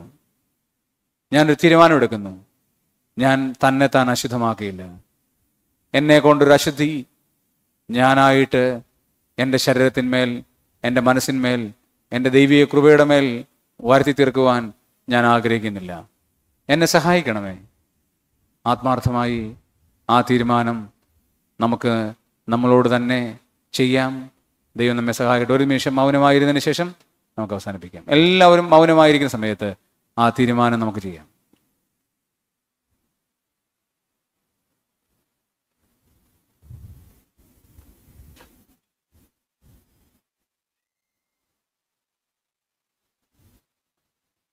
പ്രിയപിതാവെ ഞങ്ങൾ അങ്ങേ സ്തുതിക്കുന്നു. കഴിഞ്ഞ നാല് സെഷനായി ഞങ്ങൾക്ക് കാര്യങ്ങൾ പഠിക്കുവാൻ സഹായിച്ചു. അങ്ങയുടെ മുമ്പാകെ നിഷ്കളങ്കരും നീതിയുള്ളവരുമായി ജീവിപ്പാൻ ഞങ്ങളെ അവിടുന്ന് സഹായിക്കണമേ. ഞങ്ങളുടെ യൗവനം വളരെ പ്രശ്നമായിരിക്കുന്ന ഒരു കാലഘട്ടത്തിലൂടെ പോകുമ്പോൾ അങ്ങയുടെ കൃപ ഞങ്ങൾക്ക് വളരെ ആവശ്യമാണ്. ഞങ്ങളെ സഹായിക്കണമേ. ഈ ക്ലാസ് കേട്ട എല്ലാ പ്രിയപ്പെട്ടവരെയും അവിടുന്ന് അനുഗ്രഹിക്കണമേ. ആത്മീയമായി എല്ലാ അനുഗ്രഹങ്ങളും ഞാൻ നൽകി സഹായിക്കണമേ. ഞങ്ങൾ ഞങ്ങളോട് തന്നെ തീരുമാനമെടുത്ത് ദൈവത്തിന് മുമ്പാകെ നിഷ്കളങ്കരും നീതിയുള്ളവരുമായി ജീവിപ്പാൻ സഹായിക്കണമേ. ചെയ്തെല്ലാം ഉപകാരം നന്ദി പറയുന്നു. പ്രാർത്ഥനകളോട് സ്തോത്രം. യേശു കർത്താവിന്റെ സന്നിമുള്ള നാമത്തിൽ തന്നെ. ആമേൻ.